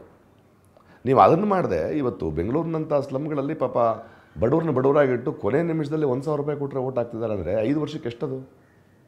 ವರ್ಷಕ್ಕೆ ಇನ್ನೂರು ರೂಪಾಯಿ. ತಿಂಗಳಿಗೆ ಏನಾಯಿತು? ಮತ್ತು ಇನ್ನೊಂದು ನೀವು ನಾವು ಭಾಳ ಈಸಿಯಾಗಿ ಬಡವರನ್ನ ದುಡ್ಡು ತೊಗೊಳ್ತಿದ್ದಾರೆ ಅಂತ ಹೇಳ್ತಿದ್ದೀವಿ. ದುಡ್ಡು ತೊಗೊಳ್ತಿದ್ರೆ ಬೆಂಗಳೂರಿನಂಥ ಶಾಂತಿನಗರದಲ್ಲಿ ಬೇರೆ ಏರಿಯಾಗಳಲ್ಲಿ ನೀವು ಅಲ್ಲಿ ಓಟ್ ಹಾಕ್ತಿದ್ರೆ ಕರೆಂಟ್ ಕಟ್ ಆಗುತ್ತೆ, ನೀರು ನಿಲ್ಲುತ್ತೆ. ಏನು ಮಾಡ್ತಾರೆ ಜನ? ಎದುರಿಸಿ ಎಂ ಎಲ್ ಎಗಳು ಮಾತಾಡಿದ್ರೆ ಕೇಸ್ಗಳಾಗ್ತಾ ಇದ್ದಾರೆ ಇವತ್ತು ಮಾದಕ ದ್ರವ್ಯಗಳು ಶಾಂತಿನಗರದ ರಸ್ತೆಗಳಲ್ಲಿ ಓಡಾಡ್ತಾ ಇವೆ. ಇದನ್ನು ಪ್ರಶ್ನೆ ಮಾಡೋರು ಯಾರು? ಅದಕ್ಕೆ ಬಡ ಜನರನ್ನ ದುಡ್ಡು ತೊಗೊಂಡು ಓಟ್ ಹಾಕ್ತಾರೆ, ಹೆಂಡ ತೊಗೊಂಡು ಓಟ್ ಹಾಕ್ತಾರೆ ಅಂತ ನಾವು ದೂರೋದ್ರ ಬದಲು ಓದ್ದವರು ವಿದ್ಯಾವಂತರು ನಾವೇನು ಮಾಡ್ತಾ ಇದ್ದೀವಿ ಹತ್ರ ಹತ್ರ ಅರವತ್ತು ಪರ್ಸೆಂಟ್ ಇದ್ದೀವಲ್ಲ ನಮಗೆ ಅಂದರೆ ಅದೆಲ್ಲದಕ್ಕೂ ಕಾರಣ ನಾವು ಪರೋಕ್ಷವಾಗಿ ಅಂತ ನಮಗೆ ಅರ್ಥ ಆಗೋದು ಬೇಡವೇ? ನೋಡಿ, ಒಬ್ಬ ಪ್ರಕಾಶ್ ರಾಜು, ಒಬ್ಬ ನಾಯಕನಿಂದ ಆಗೋದಲ್ಲ ಅದು. ಇಡೀ ಪ್ರಜೆಗಳು ಸೇರಿಕೊಂಡು ಕೆಲಸ ಮಾಡಬೇಕಾಗಿದೆ ಅದು. ಇದು ಪ್ರಜಾಸ್ವಾಮ್ಯ. ಪ್ರಜೆಯ ನಿರ್ಧಾರ, ಪ್ರಜೆಗಳು ಸೇರಿ ಬದಲಾವಣೆ ತರಬೇಕೆ ಹೊರತು ಯಾರೋ ಒಬ್ಬರು ಬದಲಾವಣೆ ಮಾಡಿ ನಾವು ನೋಡ್ತಾ ಕೂತ್ಕೊಳ್ತೀವಿ ಅಂದರೆ? ನೀವು ಪ್ರಶ್ನೆ ಮಾಡ್ತಾ ಇರಿ, ನಾನು ಕೂತ್ಕೊಳ್ತೀವಿ ಅದನ್ನು ಪ್ರಶ್ನೆ ಮಾಡಿ, ಇದನ್ನು ಪ್ರಶ್ನೆ ಮಾಡ್ಕೊಂಡು ಕೂತ್ಕೊಂಡ್ರೆ ನೀವು ಒಂದು ಹತ್ತು ಪ್ರಶ್ನೆ ಕೇಳಬೇಕು ರೀ. ಜವಾಬ್ದಾರಿಯನ್ನು ಎಲ್ಲಿಯವರೆಗೆ ಭಾರತ ದೇಶದ ಪ್ರಜೆ ತನ್ನ ಮೇಲೆ ತಗೊಳ್ಳಲ್ವೋ ಓದಿದಂತಹ, ಸ್ವಲ್ಪ ಸೆಟ್ಲ್ ಆದಂತಹ ವಿದ್ಯಾವಂತರು, ಸುಸಂಸ್ಕೃತರು ತಗೊಳ್ಳೋದಿಲ್ವೋ ಹೀಗೆ ಆಗ್ತಾ ಹೋಗುತ್ತೆ ದೇಶ. ಬೆಂಗಳೂರು ಸೆಂಟ್ರಲ್ಲು ನನ್ನ ಹುಟ್ಟೂರು. ನಾನು ಹುಟ್ಟಿದ್ದು ಬೆಂಗಳೂರು ಸೆಂಟ್ರಲ್ನ ಮಾರ್ಥಸ್ ಹಾಸ್ಪಿಟಲ್ನಲ್ಲಿ ನನ್ನ ಬಾಲ್ಯ ಶಾಂತಿನಗರ ಮತ್ತು ಚಾಮರಾಜಪೇಟೆಗಳಲ್ಲಿ, ನನ್ನ ಪ್ರಾಥಮಿಕ ಶಾಲೆ ಸೆಂಟ್ ಮೈಕಲ್ ಶಾಂತಿನಗರದಲ್ಲಿ, ನನ್ನ ಶಾಲೆ ಸೆಂಟ್ ಜೋಸ್ ಸ್ಕೂಲ್ ಈ ಕ್ಷೇತ್ರದಲ್ಲಿ, ನನ್ನ ಕಾಲೇಜ್ ಸೆಂಟ್ ಜೋಸ್ ಕಾಲೇಜ್ ಆಫ್ ಕಾಮರ್ಸ್ ಇಲ್ಲಿ, ನನ್ನ ದಶಕದ ರಂಗಭೂಮಿ ರವೀಂದ್ರ ಕಲಾಕ್ಷೇತ್ರ ಆಗಿರಲಿ ಮತ್ತು ಚಲನಚಿತ್ರರಂಗದ ಒಂದು ದಶಕದ ಪ್ರಯಾಣ ಗಾಂಧಿನಗರ ಈ ಕ್ಷೇತ್ರದಲ್ಲಿ. ಸೊ ಇದು ನನ್ನ ಕ್ಷೇತ್ರ. ನನ್ನ ಸುತ್ತಮುತ್ತಲಿನವರಿದ್ದಾರೆ, ನನ್ನ ಗೊತ್ತಿರೋರಿದ್ದಾರೆ, ನನ್ನ ಗೆಳೆಯರಿದ್ದಾರೆ, ನನ್ನ ರಂಗಭೂಮಿ ಇದೆ. ನನ್ನ ಇಡೀ ಬೇರು ಬೆಂಗಳೂರಿನಲ್ಲಿದೆ. ನನ್ನ ತಂದೆಯವರು ಮಂಗಳೂರಿನವರಾದರೂ ಹಬ್ಬಕ್ಕೆ ಹೋಗ್ತಿದ್ದಿದ್ದು ನನ್ನ ತಾಯಿ ಗದಗ ಬೆಟ್ಟಗೇರಿ. ಅದು ಅವರಿಬ್ಬರು ವಲಸೆ ಬಂದವರು ಬೆಂಗಳೂರಿಗೆ. ಸೊ ನನ್ನ ಊರು ಇದೆ ತಾನೇ. ಸೊ ಎಲ್ಲೋ ಒಂದು ಕಡೆ ನನಗೆ ಗೊತ್ತಿರುವಂತಹ ಮತ್ತು ಇಡೀ ಭಾರತ ದೇಶದಲ್ಲಿರುವಂಥ ಮಿನಿ ಭಾರತವಾಗಿದೆ ಇಲ್ಲಿ. ಎಲ್ಲ ಭಾಷೆಯ ಜನ ಇದ್ದಾರೆ. ಬೇರೆ ಬೇರೆ ಭಾಷೆಗಳನ್ನು ನಾನು ತೊಡಗಿಸ್ಕೊಂಡಿದ್ದೇನೆ. ಆ ನಿಟ್ಟಿನಲ್ಲಿ ಇದು ನನಗೆ ತುಂಬ ಸೂಕ್ತವಾದ ಸ್ಥಳ ಅನ್ನಿಸ್ತು. ಮತ್ತು ಸರಿಯಾದ ಸ್ಥಳ ಅನ್ನಿಸ್ತು. ಒಂದು, ಎರಡನೇದು ನಾನು ಎಷ್ಟೇ ದೂರದಲ್ಲಿ ಪ್ರಯಾಣ ಮಾಡಿದ್ರೂ ಮನೆಗೆ ವಾಪಸ್ ಬರೋದಂಥದ್ದಿಯಲ್ಲ ಕನ್ನಡಕ್ಕೆ ಬುಣ್ಣಿಗೆ ಭೂಮಿಗೆ ನನ್ನ ಸ್ಥಳಕ್ಕೆ ಹಾಗೆ. ಈಗ ನೀವು ಇಂಡಿಪೆಂಡೆಂಟ್ ಕ್ಯಾಂಡಿಡೇಟ್ ಆಗಿ ಸ್ಪರ್ಧೆ ಮಾಡ್ತಾ ಇದ್ದೀರಾ ಸರ್. ನೀವು ಮನಸ್ಸು ಮಾಡಿದರೆ ಬೇರೆ ರಾಜಕೀಯ ಪಕ್ಷಗಳು ಕೂಡ ನಿಮಗೆ ಸೀಟ್ ಕೊಡ್ಬೋದಿತ್ತು ಕೊಡ್ತಿದ್ರು ರೆಡಿ ಇದ್ರು ಅಥವಾ ಈಗಲೂ ರೆಡಿ ಇದ್ದಾರೆ ಅನಿಸುತ್ತೆ. ಯಾಕೆ ನೀವು ಸ್ವತಂತ್ರವಾಗಿಯೇ ಯಾಕೆ ಅಂದರೆ ಯಾವ ರಾಜಕೀಯ ಪಕ್ಷದಲ್ಲೂ ನಂಬಿಕೆ ಇಲ್ಲ ಅಂತ ಹೇಳ್ತಿದ್ದೀನಲ್ಲ ಯಾವುದೇ ರಾಜಕೀಯ ಪಕ್ಷಕ್ಕೆ ಸೇರಿದ್ರು. ನಿಮಗೆ ಪಾರ್ಟಿ ಹಂಗಲ್ಲ. ನಿಮಗೆ ಹಂಗಲ್ಲ ಏನಾಗುತ್ತೆ ಪ್ರಜೆಯ ಪರವಾಗಿ ನೀನು ಮಾತಾಡಿದ್ರೆ ನೀನು ಎರಡು ತಿಂಗಳು ಇಟ್ಕೊಳ್ಳಲ್ಲ ಯಾವುದೇ ಪಕ್ಷದವ್ರನ್ನ ಒಂದು ಹೈಕಮಾಂಡ್ಗೆ ಪಕ್ಷಕ್ಕೆ ಬದ್ಧರಾಗಿರ್ಬೇಕಾಗತ್ತೆ ನಾನು ದೇಶಕ್ಕೆ ಬದ್ಧರಾಗಿರ್ಬೇಕು ಅಂತ ಯೋಚನೆ ಮಾಡ್ತಾ ಇದ್ದೀನಿ. ಬಹಳ ಮುಖ್ಯ ಅಲ್ವಾ ಅದು? ಸೊ ತುಂಬ ಸುಲಭವಾಗಿ ಗೆಲ್ಲೋದಲ್ರಿ. ನಮ್ಮ ಬದಲಾವಣೆ ಬೇಕು. ಈ ಥರದ ಪಕ್ಷದ ರಾಜಕೀಯಗಳು ಕೆಲಸ ಮಾಡ್ತಾ ಇಲ್ಲ. ನಾವು ಸ್ವತಂತ್ರವಾಗಿ ಪ್ರಜೆಗಳು ಯೋಚನೆ ಮಾಡಬೇಕು. ಪ್ರಜಾಬಲದಿಂದ ಬರಬೇಕು ಅನ್ನೋ ಯೋಚನೆಗಳನ್ನು ಜನರಿಗೆ ತಲುಪಿಸ್ತಾ, ಆ ನಿಟ್ಟಿನಲ್ಲಿ ಪ್ರಜಾಧಾರಣ ಬಂದು ಗೆದ್ರೇ ನಾಳೆ ಕೆಲಸ ಮಾಡೋಕ್ಕಾಗುತ್ತೆ ಹೊರತು ಒಂದು ಪಕ್ಷಕ್ಕೆ ನಾವು ಮಾರ್ಕೊಂಡ ತಕ್ಷಣ, ಒಂದು ಪಕ್ಷಕ್ಕೆ ಒಳಗೆ ಹೋಗಿ ಆ ಬಲದ ಮೇಲೆ ನಾವು ಬಂದರೆ ಆ ಪಕ್ಷ ಗೆದ್ದಾಗದು. ಮತ್ತು ಅದ್ರ ಎಲ್ಲ ಪಾಪಗಳು ನಮ್ಮ ಮೇಲೆ ಇರುತ್ತೆ. ನಾವು ಯಾರಿಗೂ ಉತ್ತರ ಕೊಡಬೇಕು? ನಮಗೆ main enemy B J P ಅಥವಾ ಈ ಸಂಘ ಪರಿವಾರದ ಈ ಏನಿದೆ ಮತಾಂಧತೆ ಏನಿದೆ, ಅದ್ರ ವಿರುದ್ಧವಾಗಿದ್ದೀವಿ. ಸೊ ನೀವು ಪ್ರಗತಿಪರರು ಸೆಕ್ಯುಲರ್ ಅನ್ಕೊಳ್ಳುವಂಥ ರಾಷ್ಟ್ರಪತಿ ಪಕ್ಷಗಳು ಇದನ್ನು ಅರ್ಥ ಮಾಡಿಕೊಂಡು ಮೊದಲು ಅವರನ್ನು ನಿಲ್ಲಿಸಬೇಕು ಅನ್ನೋ ಕಾರಣಕ್ಕೆ ಬರೋದಾದ್ರೆ ಬನ್ನಿ ಅಂತೇನೆ ನಾನು. ಕಳೆದ ವಿಧಾನಸಭೆಯ ಚುನಾವಣೆಯಲ್ಲೂ ನಾನು ಯಾವ ಪಕ್ಷ ಪರವಾಗಿ ನಾನು ಯಾವ ಪಕ್ಷದ ವಿರೋಧವಾಗಿದ್ದೆ ಅಂತ ಭಾಳ ಕ್ಲಿಯರ್ ಆಗಿದ್ದೆ ನಾನು. ಸೊ ಆ ನಿಟ್ಟಿನಲ್ಲಿ ಇವಾಗ ಆಮ್ ಆದ್ಮಿ ಪಾರ್ಟಿ ಅಂತ ಇರ್ಬೋದು ಸಿ ಪಿ ಎಂ ಅಂತವ್ರಿರ್ಬೋದು ಬಿ ಎಸ್ ಪಿ ಅಂತವ್ರು ಇರ್ಬೋದು ಕಮಲ್ ಹಾಸನ್ ಅವರ ಪಕ್ಷ ಇರ್ಬೋದು ಸಿ ಪಿ ಐ ಇರ್ಬೋದು, ಈ ಥರದ ಭಾಳಷ್ಟು ಅಥವಾ ನಮ್ಮ ದೇವನೂರು ಮಹಾದೇವ ಇರ್ಬೋದು, ಯೋಗೇಂದ್ರ ಯಾದವ್ ಇರ್ಬೋದು, ಸ್ವರಾಜ್ ಇಂಡಿಯಾ ಇರ್ಬೋದು, ಮತ್ತು ಸಾಕಷ್ಟು ಒಂದು ನಾನ್ನೂರು ಜನ ಬರಹಗಾರ ಇರ್ಬೋದು, ಇವರೆಲ್ಲರೂ ಪ್ರಗತಿಪರವಾದಂಥ ಒಬ್ಬ ಕ್ಯಾಂಡಿಡೇಟ್ ಪ್ರಕಾಶ್ ರಾಜ್ ನಿಂತಿದ್ದಾರೆ, ಅವ್ರ ಜೊತೆ ಇರ್ತೀನಿ ಅಂತ ಬರಬೇಕಾದ್ರೆ, ಕಾಂಗ್ರೆಸ್ ಪಕ್ಷದವರು ನೀವು ಪ್ರಗತಿಪರ ಅಂದ್ಕೊಳ್ಳೋದಾದರೆ ಬನ್ನಿ ಒಂದು. ಎರಡನೇದು, ಕಾಂಗ್ರೆಸ್ ಪಕ್ಷ ಕಳೆದ ಒಂದು ದಶಕದ ಈ ಸೀಟ್ ಗೆದ್ದಿಲ್ವಲ್ಲ? ನಿಮ್ಮ ಗೆಲ್ಲುವ ಕ್ಯಾಂಡಿಡೇಟ್ ಎದುರುಗಡೆ ನಾನು ಹೋಗ್ತಾ ಇಲ್ಲ. ಇಷ್ಟ ನಿಮಗೆ ಅದಕ್ಕೆ ನಾನು ಬಂದು ಬೇಡ್ಕೊಳ್ತೀನಿ ನೋಡಿ, ನಾನು ಯಾವಾಗಲೂ ಓಪನ್ ಆಗಿರ್ತೇನೆ. ನಾನು ಎಲ್ಲರಿಗೂ ಓಪನ್ ಆಗಿದ್ದೇನೆ ನಾನು. ಸಹಾಯ ಮಾಡೋದಾದರೆ ಸಪೋರ್ಟ್ ಮಾಡೋದಾದರೆ ಬನ್ನಿ. ಇದು ಹೋರಾಟ. ಮತ್ತು ಭಾರತ ದೇಶದಲ್ಲಿ ಒಬ್ಬ ಪ್ರಜೆ ಪ್ರಜೆಯ ಪ್ರತಿನಿಧಿಯಾಗಿ ನಿಲ್ಲೋದಕ್ಕೆ ಸಾಧ್ಯ ಅನ್ನೋ ಒಂದು ಒಂದು ಪರಿಸ್ಥಿತಿಯನ್ನು ಅನುವು ಮಾಡಿಕೊಡಿ ಅಂತ ಕೇಳ್ಕೊಳ್ತೀನಿ. ನಾವು ಯಾರ ಮೇಲೂ ತೊಡೆ ತಟ್ಟಿ, ಮೀಸೆ ತಿರುಗಿಸ್ಕೊಂಡು ಜಗಳಾಡ ಕೊಟ್ಟಿಲ್ಲ ಅಲ್ವೇ? ಎಲ್ಲ ನಾಯಕರನ್ನು ಭೇಟಿ ಮಾಡ್ತೀನಿ ನಾನು. ಅವರು ನನ್ನ ಹತ್ರ ಬರ್ತಾ ಇದ್ದರು ಅಂದರೆ ಹೇಳ್ಕೊಳ್ಳಿ ತೊಂದರೆ ಇಲ್ಲ. ನಾನು ನೇರವಾಗಿ ಹೇಳ್ತಿದ್ದೀನಿ, ಅದ್ರಲ್ಲಿ ತಪ್ಪೇನಿಲ್ಲ. ಬರಲ್ಲ ಅಂದರೆ ಬೇಡ. ರಾಜಕೀಯದಲ್ಲಿ ಯಾರ ವಿರುದ್ಧ ಅಲ್ಲರಿ ಇದು ರಾಜಕೀಯ? ಪ್ರಜೆಯ ಪರವಾಗಿ, ದೇಶದ ಪರವಾಗಿ ರಾಜಕೀಯ ಅದು. ಯಾರ ವಿರುದ್ಧವಾಗಿ ಅಲ್ಲ ನಂದು ಕೆಲಸ. ಒಂದು ಒಂದು ಪಕ್ಷದ ವಿರುದ್ಧವಾಗಿದ್ದರೆ. ಅದಕ್ಕೆ ಯಾಕೆ ಅಂತ ನಾನು ತುಂಬ ಎಕ್ಸ್ಪ್ಲೇನ್ ಮಾಡಬೇಕಾಗಿಲ್ಲ.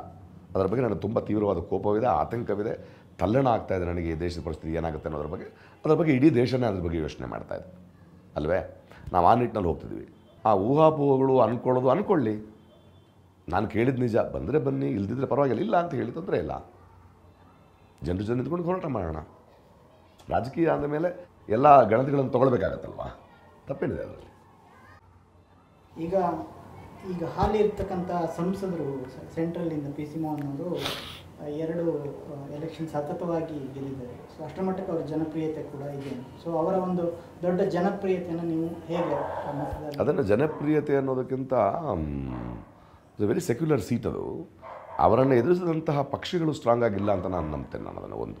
ಎರಡನೇದು ಏನು ಮಾಡಿದ್ದಾರೆ ಅಂದರೆ ನೀವು ಈ ಚುನಾವಣೆಯಲ್ಲಿ ನಾನು ಬೆಂಗಳೂರಿನ ಸೆಂಟ್ರಲ್ನ ರಸ್ತೆಗಳಲ್ಲಿ ಇಲ್ಲಿಯವರೆಗೂ ಯಾವ ಎಂ ಪಿ ನಡೆಯದ ರಸ್ತೆಗಳಲ್ಲಿ ನಡೆದಿದ್ದೀನಿ ಅದನ್ನು ನೋಡಿ ನೀವು. ಎಷ್ಟೋ ಕಡೆ ಅವ್ರು ಬಂದೇ ಇಲ್ಲ. ಏನು ಮಾಡಿದ್ರೆ ಗೊತ್ತಿಲ್ಲ, ಒಂದು ಒಂದು ಒಂದು ಸಲ ಒಂದು ಬಿ ಜೆ ಪಿ ಮೋದಿ ಅಲೆಯಲ್ಲಿ ಗೆದ್ದು ಬಂದರು ಅಂತಾರೆ. ಅವ್ರು ಎಂ ಪಿ ಲ್ಯಾಡ್ ಫಂಡ್ ಐದು ವರ್ಷ ತೆಗೆದು ನೋಡಿ ನೀವು ಏನು ಮಾಡಿದ್ದಾರೆ ಅಂತ. ಇತ್ತೀಚೆಗೆ ಮೊನ್ನೆ ದಿಢೀರಂತ ನಮ್ಮ ಸಬರ್ಬನ್ ರೈಲ್ವೆಗೋಸ್ಕರ ಅವ್ರ ಪೀಶ್ ಅವ್ರು ಅಂದರೆ ಕೊನೆಗೆ ಇಪ್ಪತ್ತು ದಿನ ಇರೋಕ್ಕೆ ಮುಂಚೆ ಬಂದು ಅನೌನ್ಸ್ ಮಾಡಿ ಹೋದ ತಕ್ಷಣ ಅದೊಂದು ದೊಡ್ಡ ಅಚೀವ್ಮೆಂಟ್ ಓಡಾಡ್ತಿದ್ದಾರೆ ಹೊರತು ಏನು ಮಾಡಿದ್ದಾರೆ ಈ ದೇಶಕ್ಕೆ? ನನಗೆ ಅವ್ರ ಅಟೆಂಡೆನ್ಸ್ ಕೊಡಿ ನನಗೆ ಸಂಸದರಾಗಿದ್ದು. ಬೆಂಗಳೂರಿನ ಕ್ಷೇತ್ರವನ್ನು ಸಂಸದ ಒಂದು ಅಟೆಂಡೆನ್ಸ್ ಕೊಡಿ ನನಗೆ. ಒಂದು ಗಟ್ಟಿಯಾದ ಒಂದು ಸ್ಟೇಟ್ಮೆಂಟ್ ಕೊಡಿ. ಒಂದು ಯಾವುದೇ ಒಂದು ವಿಷಯದ ಬಗ್ಗೆ ಮಾತಾಡ್ತಿದ್ದಾರೆ ಹೇಳಿ ನನಗೆ? ಅಥವಾ ಒಂದು ಪಾರ್ಲಿಮೆಂಟ್ನಲ್ಲಿ ಒಂದು ವಾಯ್ಸನ್ನು ಜೋರಾಗಿ ಮಾತಾಡಿದಾರಾ? ಪಾರ್ಲಿಮೆಂಟಿನ ಹತ್ರ ನಡ್ಕೊಂಡಿದ್ದಾರೆ ಕಾವೇರಿ ವಿಷಯದಲ್ಲಿ ಏನು ಮಾತಾಡಿದ್ದಾರೆ ಅವರು? ಇನ್ನೊಂದ್ರ ಬಗ್ಗೆ ಏನು ಮಾತಾಡಿದ್ದಾರೆ ಅವರು? ಯಾವ ನಿಲುವುಗಳನ್ನು ತೊಗೊಂಡಿದ್ದಾರೆ ಪ್ರಜಾಪ್ರವಾದ ನಿಲುವನ್ನು ತೊಗೊಂಡಿದ್ದಾರೆ ಅವರು? ಅದನ್ನು ಪ್ರಶ್ನೆ ಮಾಡಬೇಕಾಗತ್ತೆ ಈ ಸಲ. ಅಲ್ವೇ? ನಿಮಗೆ ಹತ್ತು, ಒಂದು ದಶಕ ಕೊಟ್ಟಿದ್ದೀವಿ ನಾವು ನಿಮಗೆ. ಕೊಟ್ಟಿದ್ದೀವೋ ಗೆದ್ದಿದ್ದೀವೋ ಹೆಂಗೆ ಗೆದ್ದಿದ್ದೀರಿ ಅನ್ನೋದು ನಮಗೆ ಮುಖ್ಯ ಅಲ್ಲ. ಒಂದು ಓಟ್ ಹಾಕಿದ್ರು, ಓಟ್ ಹಾಕದೇ ಇರೋವನಿಗೂ ಸಂಸದರು ಅವರೇ ತಾನೇ. ಸಂಸದರಂತ ಆಯ್ಕೆ ಆದಮೇಲೆ ಪ್ರಜಾಪ್ರಭುತ್ವ ನಾವು ಒಪ್ಕೊಳ್ಳೇಬೇಕು. ಒಪ್ಕೊಂಡ ನಂತರ ಏನು ಮಾಡಿದಿರಿ? ಮೊನ್ನೆ ಒಂದು ಬೈದುಗಳಲ್ಲಿ ಶುರು ಮಾಡ್ತಾರೆ. ಆ ಬೈಕ್ ಮೇಲೆ ಕೂತ್ಕೊಂಡು ಹಾಕ್ಕೊಂಡು ಪುಲಾಮ ಯುದ್ಧದ ಬಗ್ಗೆ ಇಪ್ಪತ್ತು ದಿನದಿಂದ ನಡೆದ ಯುದ್ಧದ ಬಗ್ಗೆ ಮಾತಾಡ್ಕೊಂಡು ಬೈಕ್ ರ್ಯಾಲಿ ಶುರು ಮಾಡ್ತಾರೆ. ಇಲ್ಲಿ ತನಕ ಏನು ಮಾಡಿದ್ರೆ ಅಂದರೆ ಒಂದು ಹೇಳ್ಕೊಳಕ್ಕೆ ಆಗ್ತಿಲ್ಲ ನಿಮ್ಮಿಂದ. ಸೊ ಜನ ಯೋಚನೆ ಮಾಡಿ, ಮೊದಲು ನಾನು ಹೇಳ್ತೀನಿ, ಏನು ಮಾಡಿದ್ದೀರಿ? ಅಂತ ಪ್ರಶ್ನೆ ಕೇಳೋದು ಬಿಟ್ಟು, ಒಂದು ರಿಪೋರ್ಟ್ ಕಾರ್ಡ್ ಕೇಳೋದು ಬಿಟ್ಟು, ಜನಪ್ರಿಯ, ಯಾವುದ್ರಲ್ಲಿ ಜನಪ್ರಿಯ? ಮೋದಿ ಅಲ್ಲೇನಲ್ಲೇ ಗೆಲ್ಲಬೇಕು ಅನ್ನೋದಾರೆ. ಮೋದಿ ಬಂದು ಆಡಲ್ವಲ್ರಿ ಇಲ್ಲಿ? ಅವ್ರಿಗೆ ನಮ್ಮ ಭಾಷೆ ಗೊತ್ತೇ? ಒಂದು ಒಂದು ಕ್ಷೇತ್ರದ ಪ್ರತಿನಿಧಿಯಾಗಿ ಪ್ರತಿನಿಧಿಗಳ ಜೊತೆ ಎಲ್ಲಿದ್ದೀರಿ ನೀವು? ಎಲೆಕ್ಷನ್ ಬಂದಾಗ ಮಾತ್ರ ಬರ್ತೀರಿ. ಈ ಸಲ ಉತ್ತರ ಕೊಡ್ತಾರೆ ಜನ. ಜನಕ್ಕೆ ಜನಕ್ಕೆ ನೋಡಿ ಬೀದಿ ಬೀದಿ ರೋಡನ್ನು ಮೊದಲು ಹೋದ ತಕ್ಷಣ ನಟ ಅಂತ ನೋಡ್ತಾರೆ ರೀ ಯಾಕಂದರೆ ಭಾಳ ಪಾಪ್ಯುಲರ್ ಆದ ನಟ, ತೆಲುಗುನವರಿರಲಿ, ತಮಿಳ್ನವರಿರಲಿ, ಹಿಂದಿಯವರಿರಲಿ, ಕನ್ನಡದವರಿರಲಿ, ಎಲ್ಲ ಭಾಷೆನಲ್ಲೂ ನಟರೋದ್ರಿಂದ. ಅದಾದ ನಂತರ ನಾನು ಇವ್ರಗಳ ಥರ ಎರಡೆರಡು ಲಕ್ಷ ಮೂರು ಮೂರು ಲಕ್ಷ ಜನರನ್ನು ಸೇರಿಸೋನಲ್ಲ. ಆ ಜನಕ್ಕೆ ಆ ಸತ್ಯ ಹೇಳ್ತೇನೆ. ನೋಡಿ, ಎರಡು ಲಕ್ಷ ಜನರನ್ನು ಸೇರಿಸ್ಬೇಕಂದ್ರೆ ದಿನ ಒಬ್ಬೊಬ್ರು ಮುನ್ನೂರು ರೂಪಾಯಿ ಕೊಡಬೇಕು. ಲಾರಿಯಲ್ಲಿ ತೊಗೊಂಬರ್ಬೇಕು ಸುಳ್ಳು ಹೇಳಬೇಕು ನಿಮಗೆ. ನಾನು ಸುಳ್ಳು ಹೇಳಲ್ಲ. ನಾನು ಬೀದಿ ಬೀದಿ ರಸ್ತೆಗಳಲ್ಲಿ ಇನ್ನೂರು ಜನ, ನೂರು ಜನ ಒಂದೊಂದು ಕಡೆ ಸೇರ್ತಾರೆ, ಮಾತಾಡ್ತೀನಿ. ಕೇಳ್ತಾ ಇದ್ದೀನಿ, ಏನು ನಡೆದಿದೆ? ಯೋಚನೆ ಮಾಡೋಣ ಒಂದು ಎರಡು ನಿಮಿಷ, ಓಕೆ, ನಟ ಮುಗೀತು, ಹೌದು ನಟ ಮುಗೀತು. ಏನು ಮಾಡೋಣ ಹೇಳಿ? ಏನಾಗಿದೆ? ನಮ್ಮ ರಸ್ತೆಗಳು ಯಾಕೆ ಹೀಗಿದೆ? ನಮ್ಮ ಶಾಲೆಗಳು ಯಾಕೆ ಹೀಗಿದೆ? ನಮ್ಮ ಆಸ್ಪತ್ರೆಗಳು ಯಾಕೆ ಹೀಗಿದೆ? ನಮ್ಮ ಬದುಕು ಯಾಕೆ ಹೀಗಿದೆ? ನಿಮ್ಮ ರಸ್ತೆಗೆ ನಾಯಕ ಬರೆದು ಹೆಂಗೆ ಗೆಲ್ತಾ ಇದ್ದಾರೆ? ಹೆಂಗೆ ರಸ್ತೆ ಯುವಕರನ್ನು ಒಂಥರ ಕ್ರೇನ್ಗಳ ಥರ ಯೂಸ್ ಮಾಡ್ಕೊಂಡು ನಿಮ್ಮ ಹೋಟ್ಲಿಗೆ ತೊಗೊಂಡು ಹೋಗ್ತಾ ಇದ್ದಾರೆ? ಹೇಗೆ ಕಲೆಕ್ಷನ್ ಕೊನೆ ದಿನ ನೋಡಿ ನಿಮ್ಮ ಬಗ್ಗೆ ಮಾತಾಡ್ತಾ ಇದ್ದಾರೆ ಹೊರಗಡೆ? ಮಾರ್ಕೊಳ್ಳೋಕೆ ಸಾಧ್ಯನೇ ನಾವು? ಜನ ಯೋಚನೆ ಮಾಡಿದ್ರು ಹೆಂಗಸರು ಭಾಳ ಜನ ಯೋಚನೆ ಮಾಡೋದು ಕೆಲವು ಕೆಲವು ಕಡೆ ಅಂತೂ ಒಂದು ಒಂದು ಏರಿಯಾಗೆ ಹೋಗಿದ್ದೆ ನಾನು. ಇಲ್ಲಿ ನಮ್ಮ ಮಾಯಾ ಬಜಾರ್ ಅಂತ ಒಂದು ಸ್ಲಮ್ ಇದೆ. ಒಂದು ಹೆಂಗಸು ನಿಂತ್ಕೊಂಡು ಇನ್ನು ಮೇಲೆ ಯಾರಾದರೂ ಬಂದರೆ ನಮ್ಮ, ನಾವು ಹೆಂಗ್, ಹೆಂಗಸರೆಲ್ಲ ಇವ್ರ ಜೊತೆ ಇದ್ದೀವಿ ನಾವು. ಇನ್ಮೇಲೆ ನಾವು ಓಟ್ ಮಾರ್ಕೊಳ್ಳಲ್ಲ ನಾವು. ನೀವು ಗಂಡಸರು, ಯಾರು ರೌಡಿಗಳು ಹೆದರೋದ್ರೆ ಬನ್ನಿ, ನಾವು ಹೆಂಗಸರು ನಿಂತ್ಕೊಂಡು ಕಾಪಾಡ್ತೀವಿ ಅಂತ. ಅಂದರೆ ರೊಚ್ಚಿಗೆ ಹೇಳ್ತಿದ್ದಾರೆ ಜನ. ಅವ್ರಿಗೆ ಅರ್ಥ ಆಗ್ತಾ ಇದೆ ಡಿಸಲ್ಯೂಷನ್ ಆಗ್ತಾ ಇದೆ. ಒಂದು ಮೈನಾರಿಟಿಗೆ ಕಾಂಗ್ರೆಸ್ ಏನು ಮಾಡಿಲ್ಲ ಅಂತ ಗೊತ್ತಾಗ್ತಿದೆ ಅವ್ರಿಗೆ. ಸುಮ್ಮನೆ ಹೇಳ್ತಿದ್ದಾರೆ ಹೊರತು. ಇವತ್ತು ನೀವು ಮೈನಾರಿಟಿಗಳನ್ನು ನೋಡಿದ್ರೆ ಏನು ಮಾಡಿದ್ದಾರೆ ಅವರು? ಮೂಗಿಗೆ ತುಪ್ಪ ಸವರೋದು ಬಿಟ್ಟರೆ ಏನೂ ಆಗ್ತಾಯಿಲ್ಲ ಈ ದೇಶದಲ್ಲಿ.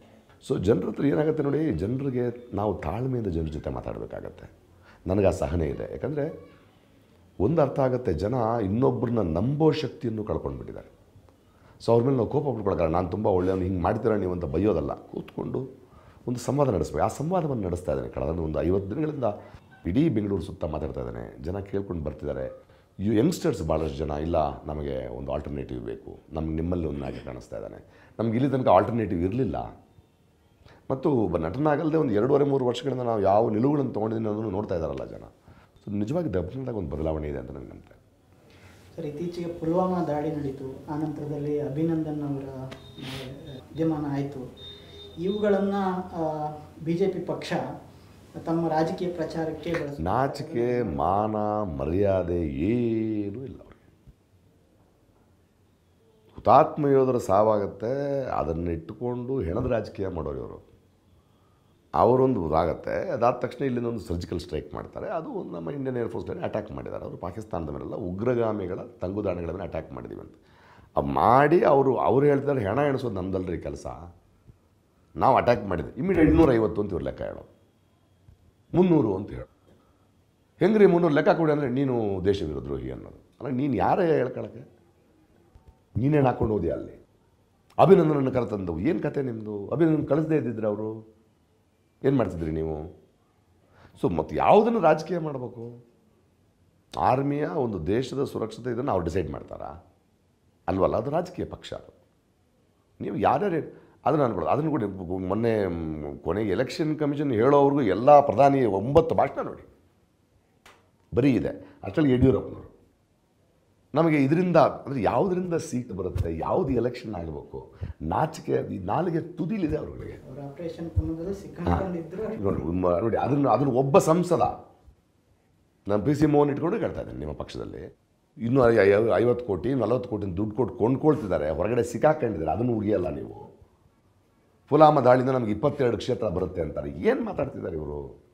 ಜನಕ್ಕೆ ಅರ್ಥ ಆಗಲ್ಲ ಅಂದ್ಕೊಂಡಿದ್ದಾರೆ ಅವರು. ಜನ ಅರ್ಥ ಮಾಡ್ಕೊಳ್ತಾರೆ. ಸೊ ಮೋದಿ ಅವರು ಮೊನ್ನೆ ಕಲಬುರಗಿನಲ್ಲಿ ಮಾತಾಡ್ತಾ ನಾನು ಭ್ರಷ್ಟಾಚಾರವನ್ನು ತಡೀತಾ ಇದ್ದೀನಿ ಅದನ್ನು ಸಹಿಸದೇನೆ ಈ ಭ್ರಷ್ಟ ಪಕ್ಷಗಳು ನನ್ನ ವಿರುದ್ಧ ದಾಳಿ ಮಾಡ್ತಾ ಇದ್ದಾರೆ. ಹೇಳಿದೆ ಈ ಕಳ್ಳನ ಮಾತು ನುಣ್ಣಿಗೆ ಅಂದಂಗೆ ಭ್ರಷ್ಟಾಚಾರ ಏನು ಮೂವತ್ತು ಸಾವಿರ ಕೋಟಿ ಯಾಕ್ರಿ ಹೋಯ್ತು ಅಂಬಾನಿಗೆ?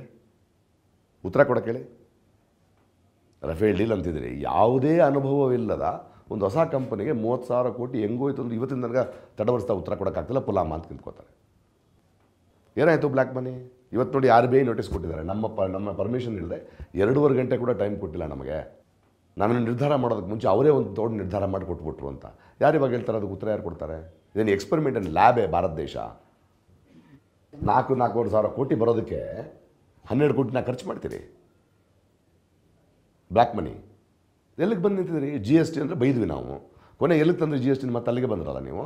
ಇಷ್ಟು ಮಧ್ಯೆ ಕೊಳ್ಳೆ ಹೋಗಿದ್ದೇನಾಯಿತು ರೈತರ ಅಗ್ರಿ ಕೊನೆಗೆ ಇನ್ನೊಂದು ಹತ್ತು ದಿನ ಇರಬೇಕಾದ್ರೆ ನೋಡಿ, ಎಂಟನೇ ತಾರೀಕು ಮೊನ್ನೆ ಇದು ಚುನಾವಣೆ ಇದು ಬರೋ ತನಕ ಬಾಯಿ ಬಿಟ್ಟು ಬರೀ ಆಶ್ವಾಸನೆಗಳು ಕೊಡೋದೆ ಹೊಸ ಆಶ್ವಾಸನೆಗಳು. ಈ ಸುಳ್ಳರು ಕಳ್ಳರೆಲ್ಲ ಗೊತ್ತಾಗತ್ತೆ ಜನಕ್ಕೆ. ಏನು ಮಾಡೋದು? ಜನ ಅರ್ಥ ಮಾಡ್ಕೋಬೇಕು, ಯೋಚನೆ ಮಾಡಬೇಕು. ಅದನ್ನು ಅದನ್ನು ಯೋಚನೆ ಮಾಡೋ ಥರ ಮಾಡೋದು ನಮ್ಮ ಜವಾಬ್ದಾರಿ. ಈ ಸಲ ಚುನಾವಣೆ ಹೇಳ್ತೇನೆ, ನೋಡೋಣ ಏನಾಗುತ್ತೆ. ನನ್ನ ಪ್ರಕಾರ ಪ್ರಕಾರ ಒಬ್ಬ ಎಂ ಪಿ ಆದವನು ಬೆಂಗಳೂರಿನ ಎಂಟು ವಿಧಾನಸಭಾ ಕ್ಷೇತ್ರಗಳಲ್ಲೂ ಮುಂದಿನ ಐದು ವರ್ಷಗಳ ಆಫೀಸ್ಗಳು ಇಟ್ಕೋಬೇಕು.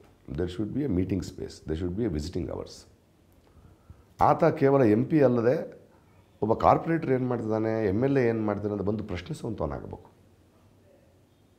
ಮತ್ತು ಜನಪರವಾಗಿರಬೇಕು. ಇವತ್ತು ಒಂದು ಬೆಲ್ಲಂದೂರು ಕೆರೆಗೋಸ್ಕರ ಒಂದು ಕ್ರೈಸಿಸ್ ನಡೀತಾ ಇದೆ. ವೈಟ್ ಫೀಲ್ಡ್ ರೇಸಿಂಗ್ ಕೆಲಸ ನಡೀತಿದೆ ಒಂದು ಸ್ಟೀಲ್ ಓವರ್ ಬೇಡ ಅಂತ ಒಂದು ಜನಸಾಮಾನ್ಯ ಮಾಡಿದೆ ಅವ್ರ ಜೊತೆ ನಿಂತ್ಕೋಬೇಕು. ಒಂದ್ಸಲ ಕಿವಿ ಕೇಳಿಸ್ಕೊಳ್ಬೇಕು. ಮತ್ತು ಇಡೀ ಬೆಂಗಳೂರಿಗೆ ಏನೇನು ಮಾಡ್ತಾ ಇದ್ದೀನಿ ನಾನು ಒಂದು ಕೇಂದ್ರದಿಂದ ಏನೇನೆಲ್ಲ ತೊಗೊಂಡು ಬರಬೇಕು. ಇವಾಗ ಫಾರ್ ಎಕ್ಸಾಂಪಲ್ ನಾವು ಸ್ಕಿಲ್ಡ್ಗೋಸ್ಕರ ಬರ್ತಾ ಇದೆ. ನಾನು ಹೇಳ್ತೀನಿ ಸ್ಕಿಲ್ ಡೆವಲಪ್ಮೆಂಟ್ಗೂ ಅಷ್ಟು ಕೋಟಿಗಳು ಬರ್ತಾ ಇದೆಯಲ್ಲ, ಬೆಂಗಳೂರಿನಲ್ಲಿ ಏನು ಸ್ಕಿಲ್ ಅಂತ ಯಾಕೆ ಯೋಚನೆ ಮಾಡ್ತಿಲ್ಲ ನೀವು? ಆ ಗೇಟ್ ಮಾಡೋರು ಮುಸ್ಲಿಮರು ಸ್ಕಿಲ್ ಅಲ್ವಾ ಅದು? ಆ ಎಲೆಕ್ಟ್ರಿಷಿಯನ್ಗಳಿಗೆ ಸ್ಕಿಲ್ ನಾಲ್ಕು ನಾಲ್ಕು ನಾಲ್ಕು ಐದನೇ ಕ್ಲಾಸ್ ಓದಿ ಫೇಲ್ ಆಗಿದ್ದಾರೆ ಅವರು. ನಿಮ್ಗೆ ಯಾವ ಥರ ಸ್ಲಮ್ ಡೆವಲಪ್ಮೆಂಟ್ ಬೋರ್ಡ್ಗೆ ಏನು ಮಾಡ್ತಾ ಇದ್ದೀರಿ ಕೆರೆಗಳ ಪುನರುದ್ಧಿಗೋಸ್ಕರ ಏನು ಮಾಡ್ತಾ ಇದ್ದೀವಿ? ಯೋಚನೆ ಮಾಡಬೇಕು. ಅರ್ಬನೈಸ್ಡ್ ಸಿಟಿ ಇದು. ಈ ಕಸ ತೆಗೆದು ಹಾಕೋದು. ಕಸ ತೆಗೆದು ಹಾಕೋದು ಒಂದು ಕಡೆ ಅಂತ ಇನ್ನೊಂದು ಕಡೆ ಆಗಲ್ಲ. ಅದನ್ನು ರೀಸೈಕ್ಲಿಂಗ್ ಯೂನಿಟ್ ಏನಾದ್ರು ಮಾಡ್ತಾ ಇದ್ದೀವಿ ನಾವು ಇವತ್ತು. ಅದ್ರ ಬಗ್ಗೆ ಯಾಕೆ ನಾವು ಯೋಚನೆ ಮಾಡ್ತಾ ಇಲ್ಲ? ಡೆವಲಪ್ಮೆಂಟ್ ಅಂತೀರಿ ದೊಡ್ಡ ದೊಡ್ಡ ಮೂರು ಸಾವಿರ, ಎರಡು ಸಾವಿರ ಫ್ಲ್ಯಾಟ್ಗಳಿಗೆ ಪರ್ಮಿಷನ್ ಕೊಡ್ತೀರಿ. ಅದರಲ್ಲಿ ವೇಸ್ಟ್ ರೀಸೈಕ್ಲಿಂಗ್ ಯೂನಿಟ್ಗಳು ಇದೆಯಾ ಇಲ್ಲ ಅಂತ ಯಾಕೆ ಚೆಕ್ ಮಾಡ್ತಾ ಇಲ್ಲ? ಅಲ್ಲಿ ಆಳದಲ್ಲಿ ನೀರು ಇದೆಯಲ್ಲ ಅಂತ ಯಾಕೆ ಚೆಕ್ ಮಾಡ್ತಾ ಇಲ್ಲ? ನೀರಿನ ಪೂರೈಕೆ ಏನು ಮಾಡಬೇಕು ಅಂತ ಯಾಕೆ ಗೊತ್ತಾಗ್ತಾ ಇಲ್ಲ ನಿಮಗೆ? ಸಿ ಎಲ್ಲ ಕಡೆ ಯೋಚನೆ ಮಾಡ್ತಾ ಅಲ್ಲದೆ ರಾಜ್ಯದ ವಿಷಯಗಳೇನು? ಇಡೀ ರೈತರ ವಿಷಯಗಳ ಬಗ್ಗೆ ಏನಾಗ್ತಾ ಇದೆ? ಬಿಕಾಸ್ ನೀನೊಬ್ಬ ಪ್ರತಿನಿಧಿ ಕೂಡ, ನೀನು ನಿನ್ನ ಕ್ಷೇತ್ರದ ಬಗ್ಗೆ ಯೋಚನೆ ಮಾಡ್ತಾ, ರಾಜ್ಯದ ಬಗ್ಗೆ ಯೋಚನೆ ಮಾಡ್ತಾ, ಮತ್ತು ಕ್ಷೇತ್ರ ಮತ್ತು ರಾಜ್ಯವನ್ನು ಮರೆತು ದೇಶದ ಬಗ್ಗೆ ಕೂಡ ಯೋಚನೆ ಮಾಡಿ. Are a statesmen on this country ಒಂದು ಡಿಮಾನಿಟೈಸೇಷನ್ ಅಂತ ಅಥವಾ ಬ್ಯಾಂಕ್ ಲೋನ್ ವೇವರ್ ಅಂತ ಬಂದಾಗ ಯಾವ ಥರದ ನಿಲುವನ್ನು ನೀವು ತಗೊಳ್ತೀರಿ? ಯಾವ ಮನಸ್ಸಾಕ್ಷಿಯಿಂದ ಮಾತಾಡಿ ಜನಪರವಾಗಿ ಹೆಂಗಿರ್ತೀರಿ ನೀವು? ಶಿಕ್ಷಣ ಕ್ಷೇತ್ರದಲ್ಲಿ ಏನಾಗ್ತಾ ಇದೆ? ಆಸ್ಪತ್ರೆಯ ಕ್ಷೇತ್ರದಲ್ಲಿ ಏನಾಗ್ತದೆ, ಉದ್ಯೋಗಗಳು ಏನಾಗ್ತಾ ಇದೆ ಪ್ಯಾರಲ್ ಮುಗೋಸ್ಕರ ಏನು ಮಾಡ್ಬೋದು? ಇದನ್ನು ಒಂದು ಚರ್ಚೆ ಮಾಡ್ತಾ ಕಂಟಿನ್ಯೂಸ್ ಆಗಿ ಆರು ತಿಂಗಳಿಗೆ ಒಂದ್ಸಲ ರಿಪೋರ್ಟ್ ಕಾರ್ಡ್ ಕೊಡ್ತಾ ಐದು ವರ್ಷ ಕೆಲಸ ಮಾಡಬೇಕು ಇದೇನು ಮಾಡಲ್ಲ ಎಂ ಪಿ ಆದ ತಕ್ಷಣ ಅವ್ರಿಗೆ ಯಾರಿಗಾರು ರೈಲ್ವೇಸ್ನಲ್ಲಿ ಟಿಕೆಟ್ ಬೇಕಾದ್ರೆ ಒಂದು ಲೆಟ್ರು ಅಲ್ಲೇನಾದ್ರು ಬೇಕಾದ್ರೆ ಇನ್ಫ್ಲೂಯೆನ್ಸ್ಗೆ ಒಂದು ಲೆಟ್ರು ಆ ಡೆಲ್ಲಿನಲ್ಲಿ ಬಂದು ಉಳ್ಕೊಳ್ಳೋಕೆ ಒಂದು ಲೆಟ್ರು ಬರೀ ಇಷ್ಟು ಮಾಡ್ತಿದ್ದಾರೆ ಹೊರತು ಲೆಟರ್ ಪ್ಯಾಡ್ ಎಂ ಪಿಗಳಾಗಿದ್ದಾರೆ ಹೊರತು, ಪಕ್ಷ ಏನೋ ಅಂತ ಪಕ್ಷ. ಮತ್ತು ಅವ್ರಿಗೆ ಬೇರೆ ಬೇರೆ ಬಿಸ್ನೆಸ್ಗಳಿವೆ ಅದನ್ನು ಇಂಟ್ರೆಸ್ಟ್ ನೋಡ್ಕೊಳ್ತಾರೆ ಹಾಗಾಗಬಾರ್ದು.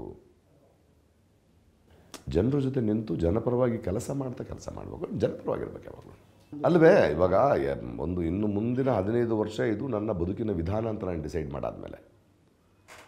ನಿನ್ನ ನಿನ್ನ ನಿನ್ನ ಸೋತರು ನಿನಗೆ ಓಟ್ ಹಾಕಿರೋರು ನಿನ್ನ ಜವಾಬ್ದಾರಿ ಅಲ್ವಾ? ನಿನ್ನ ಮಾತ್ರ ನಂಬಿ ಒಂದು ಎರಡು ಲಕ್ಷ ಜನ, ಎರಡೂವರೆ ಲಕ್ಷ ಜನ ನಿನಗೆ ಓಟ್ ಹಾಕಿದ್ದಾರೆ ಅಂದರೆ ಅಷ್ಟು ಜನ ಬದಲಾವಣೆಯನ್ನು ಕೋರ್ತಾ ಇದ್ದಾರೆ ಅಂದ ತಕ್ಷಣ. ನೀನು ಅವ್ರು ನಾಯಕರಾಗಿರುತ್ತೆ ಸೋತೆಂದು ಮನೆಗೆ ಹೋಗ್ಬಿಡ್ತೀಯಾ? ಹಾಗಾಗಲ್ಲ ಅಲ್ವಾ? ಇರಬೇಕು. ಜನಗಳ ಜೊತೆ ಕೆಲಸ ಮಾಡಬೇಕು. ಹಾಂ ಇದು ಯಾವುದೋ ಬರೀ ಗೆಲ್ಲೋದು ಸೋಲ ಯಾವುದೋ ಪಕ್ಷ ಸೇರಿಕೊಂಡು ಅದು ಯಾರು ಕೇಳ್ಕೊಂಡು ಹೋಗ್ಬಿಡೋದಲ್ರಿ ಅದಲ್ಲವಲ್ಲ ಇದು. ನಾನು ಬೇರೆ ರಾಜಕೀಯ ಪಕ್ಷಗಳು ನನಗಿರೋ ವ್ಯತ್ಯಾಸ. ಇದು ಇನ್ಮೇಲೆ ಜೀವನದ ವಿಧಾನ. ನೋಡ್ತಾ ಬಂದಿದ್ದೀನಿ ನಾನು ಇದನ್ನು. ಸೊ ಆ ನಿಟ್ಟಿನಲ್ಲಿ ನಾವು ಕೆಲಸ ಮಾಡ್ತೀವಿ ಅಲ್ಲಿ ಅಲ್ಲಿ ಜನಕ್ಕೆ ಏನಾಗ್ತದೆ ಅಂದರೆ ಈ ಥರ ಬಂದವರೆಲ್ಲ ಸೋತ ತಕ್ಷಣ ಹೋಗ್ಬಿಡ್ತಾರೆ. ನೋಡಿ ಸೋತ್ಬಿಟ್ಟೆ ನಾನು ಅಂತ. ಹಂಗೆ ಆಗಬಾರ್ದು ಅದು. ಅದು ಹಂಗೆ ಅಲ್ಲ ಅದು ಇಟ್ ಈಸ್ ನಾಟ್ ಗೆಲ್ಲೋದು. ಈಗ ಆ್ಯಕ್ಟಿಂಗ್ ಇದೆ ಸರ್. ಇನ್ನೊಂದು ನಿಮ್ಮ ವೃತ್ತಿ ಇದು ವೃತ್ತಿನ ಮಾಡ್ಕೊಂಡಿದ್ದೀರಿ ಅಭಿನಯವನ್ನು. ಅದನ್ನು ಇದನ್ನು ಕೂಡ ದುರ ಅದೃಷ್ಟವಶಾತ್ತು ಮತ್ತು ಈ ರಾಜಕಾರಣಿಗಳ ದುರದೃಷ್ಟವಶಾತ್ತು ಇದಕ್ಕಿಂತ ಪಾಪ್ಯುಲರ್ ಆಗಬೇಕಾಗಿಲ್ಲ ನಾನು. ನಾನು ಒಳ್ಳೆ ನಟ ಅಂತ ಪ್ರೂವ್ ಮಾಡಬೇಕಾಗಿಲ್ಲ ನಾನು. ಮತ್ತು ಕೂತು ತಿನ್ನೋ ಅಷ್ಟಿದೆ. ಒಂದು ನಿಮಿಷ ಸೋದ್ರು ವರ್ಷಕ್ಕೆ ಎರಡು ಸಿನಿಮಾ ಮಾಡಿದ್ರೆ ಸಾಕ್ರಿ ನಾನು ಹೊಟ್ಟೆ ತುಂಬುತ್ತೆ. ಅಲ್ವೇ? ಮಕ್ಕಳು ಬೆಳೆದಿದ್ದಾರೆ. ಒಳಗಡೆ ಪ್ರಬುದ್ಧತೆ ಇದೆ ಓದ್ಕೊಂಡಿದ್ದೀನಿ. ಒಂದು ನಾಲ್ಕೈದು ತೋಟಗಳಿವೆ. ಏನೋ ಮಾರ್ಕೊಳ್ಳೋಂಥ ಸ್ಥಿತಿನ ನಾನಿಲ್ಲ. ಕೂತು ಊಟ ಮಾಡೋ ಸ್ಥಿತಿನಲ್ಲೇ ಇದ್ದೀನಿ. ಖರ್ಚುಗಳಿಗೆ ಒಂದೆರಡು ಸಿನಿಮಾ ಮಾಡಿದ್ರೆ ಸಾಕು. ಸಾಕಷ್ಟು ಕೆಲಸ ಮಾಡ್ಬೋದು. ಅಲ್ವೇ? ಆ ವೃತ್ತಿಗೆ ಬೇಕಾದ ಒಂದು ಖುಷಿನೂ ನಾವು ಪಡಿತಾ ಹೋಗ್ಬೋದು. ಗೆದ್ದರೆ ಅದಕ್ಕೆ ಮಾಡೋ ಟೈಮ್ ಇರೋಲ್ಲ. ಈ ಕೆಲಸಕ್ಕೆ ಹೋಗ್ಬೋದು. ಅಷ್ಟೇ. ಸೊ ಹೀಗಾಗಿ ನನ್ನ ಅದೃಷ್ಟ ನಾನು ಈ ನಿಲ್ಲು ತೊಗೊಳ್ಬೇಕು ಅದನ್ನೆಲ್ಲ ಯೋಚನೆ ಮಾಡಿ ನಿಲ್ಲು ತೊಗೊಂಡೆ ಹಂಗಲ್ಲ, ನಾವು ಮೂರ್ಖರಾಗೋಕ್ಕಾಗಲ್ಲ. ಅದಕ್ಕೆ ತಾಯಿ ಜೊತೆ ಕೂತ್ಕೊಂಡು, ಹೆಂಡತಿ ಜೊತೆ ಕೂತ್ಕೊಂಡು, ಮಕ್ಕಳ ಮಗಳ ಜೊತೆ ಕೂತ್ಕೊಂಡು ನನ್ನ ತಂಗಿ ತಂಗಿ ಗಂಡನ ಜೊತೆ ಕೂತ್ಕೊಂಡು ಎಲ್ಲಿ ಜೊತೆ ನಾನು ಇದರೊಂದು ನಿರ್ಧಾರ ತೊಗೊಳ್ತಾ ಇದ್ದೀನಿ. ಇನ್ನು ಮೇಲೆ ಈ ಥರ ಇಷ್ಟಿರುತ್ತೆ ನನ್ನ ವರಮಾನಗಳು. ಇದು ಇರೋದು ಎಲ್ಲ ಸರಿಯಾಗಿದೆ ಅಲ್ವಾ? ನಿಮ್ಮೆಲ್ಲ ಚೆನ್ನಾಗಿ ನೋಡ್ಕೊಂಡಿದ್ದೀನಿ ತಾನೆ ನನ್ನ ಕೆಲಸ ಇನ್ನಿದು ಮುಂದಿಂದು ಹೋಗಿ ಬಾ ಅಂತ ಸೊ ಇಟ್ ಒಂದು ಮನೆಯನ್ನು ಇದನ್ನು ಮಾಡಿದ್ರೆ ಒಂದು ದೇಶ ನಾನು ಸರಿ ಮಾಡ್ತಾನೆ. ಸೊ ಈ ನಿಟ್ಟಿನಲ್ಲಿ ಗೆಳೆಯರ ಜೊತೆ ಮತ್ತು ನಾನು ಏನು ಕಳ್ಕೊಳ್ತೀನಿ? ನಟನೆ ಮಾಡದೇ ಇದ್ರೆ ನನಗೇನಾದ್ರು ಬೇಜಾರಾಗುತ್ತಾ? ಹಾಗೇನಿಲ್ಲ ಅದು. ಅಲ್ವೇ? ಸೊ ಆ ನಿಟ್ಟಿನಲ್ಲಿ ಯೋಚನೆ ಮಾಡಿ. ಐದು ಭಾಷೆ. ನಟನಾಗಿ ನನ್ನ ಡಿಮ್ಯಾಂಡನ್ನು ಕುಂದಿಲ್ಲ. ಸೊ ಇದೊಂದು ದಿಸದ ಬದುಕಿನ ವಿಧಾನ. ಇಡೀ ಭಾರತ ದೇಶದ ಪ್ರಜೆಗಳಿಗೆ ನಾನು ಹೇಳ್ತಾ ಇದ್ದೀನಿ. ರಾಜಕೀಯ ಪ್ರಜ್ಞೆ ಬಹಳ ಮುಖ್ಯ. You have to be political ಯಾಕಂದರೆ ನಾವು ಆರಿಸುವ ವ್ಯಕ್ತಿಗಳು ಅಥವಾ ನಮ್ಮಿಂದ ಆರಿಸಲ್ಪಡುವ ವ್ಯಕ್ತಿಗಳು ತೆಗೆದುಕೊಳ್ಳುವ ಒಂದೊಂದು ನಿರ್ಧಾರವು ನಮ್ಮ ಬದುಕಿನ ಪ್ರತಿ ಕ್ಷಣದ ಮೇಲೆ ಪರಿಣಾಮ ಬೀರುತ್ತೆ. ಸೊ ಎಲ್ಲ ಭ್ರಷ್ಟಾಚಾರಕ್ಕೆ ಎಲ್ಲ ದುರಾಡೋದಕ್ಕೆ ಕಾರಣ ಈ ಚುನಾವಣೆ ಪ್ರಕ್ರಿಯೆ. ಸೊ ಆರಿಸೋದ್ರಲ್ಲಿ ಕೇರ್ಫುಲ್ ಆಗಿರಿ. ಅಭ್ಯರ್ಥಿ ನೋಡಿ. ಪಕ್ಷ ಅಲ್ಲ. ಆ ಅಭ್ಯರ್ಥಿ, ಆ ಅಭ್ಯರ್ಥಿನಲ್ಲಿ ಕೆಲಸ ಆಗುತ್ತೆ ನನಗೆ. ಇವನು ನಮ್ಮನ್ನು ಪ್ರತಿಬಿಂಬಿಸಿದ ನೋಡಿ. ನೀವು ನನಗೆ ಅಂತಲ್ಲ, ಯಾರೇ ಅಭ್ಯರ್ಥಿ ನೋಡಿ ಯೋಚನೆ ಮಾಡಿ. ಯಾಕಂದರೆ ನೀವು ವಿವೇಚನೆಯಿಂದ ಯೋಚನೆ ಮಾಡಿ. ಯಾಕಂದರೆ ನಿಮ್ಮ ಮತ ಅನ್ನೋದು ನಿಮ್ಮ ಭಾಷೆ, ನಿಮ್ಮ ಮಾತು, ನಿಮ್ಮ ಸ್ಟ್ಯಾಂಡರ್ಡ್ ಯೋಚನೆ ಮಾಡಿ ವೋಟ್ ಮಾಡಿ. ಅಷ್ಟೇ.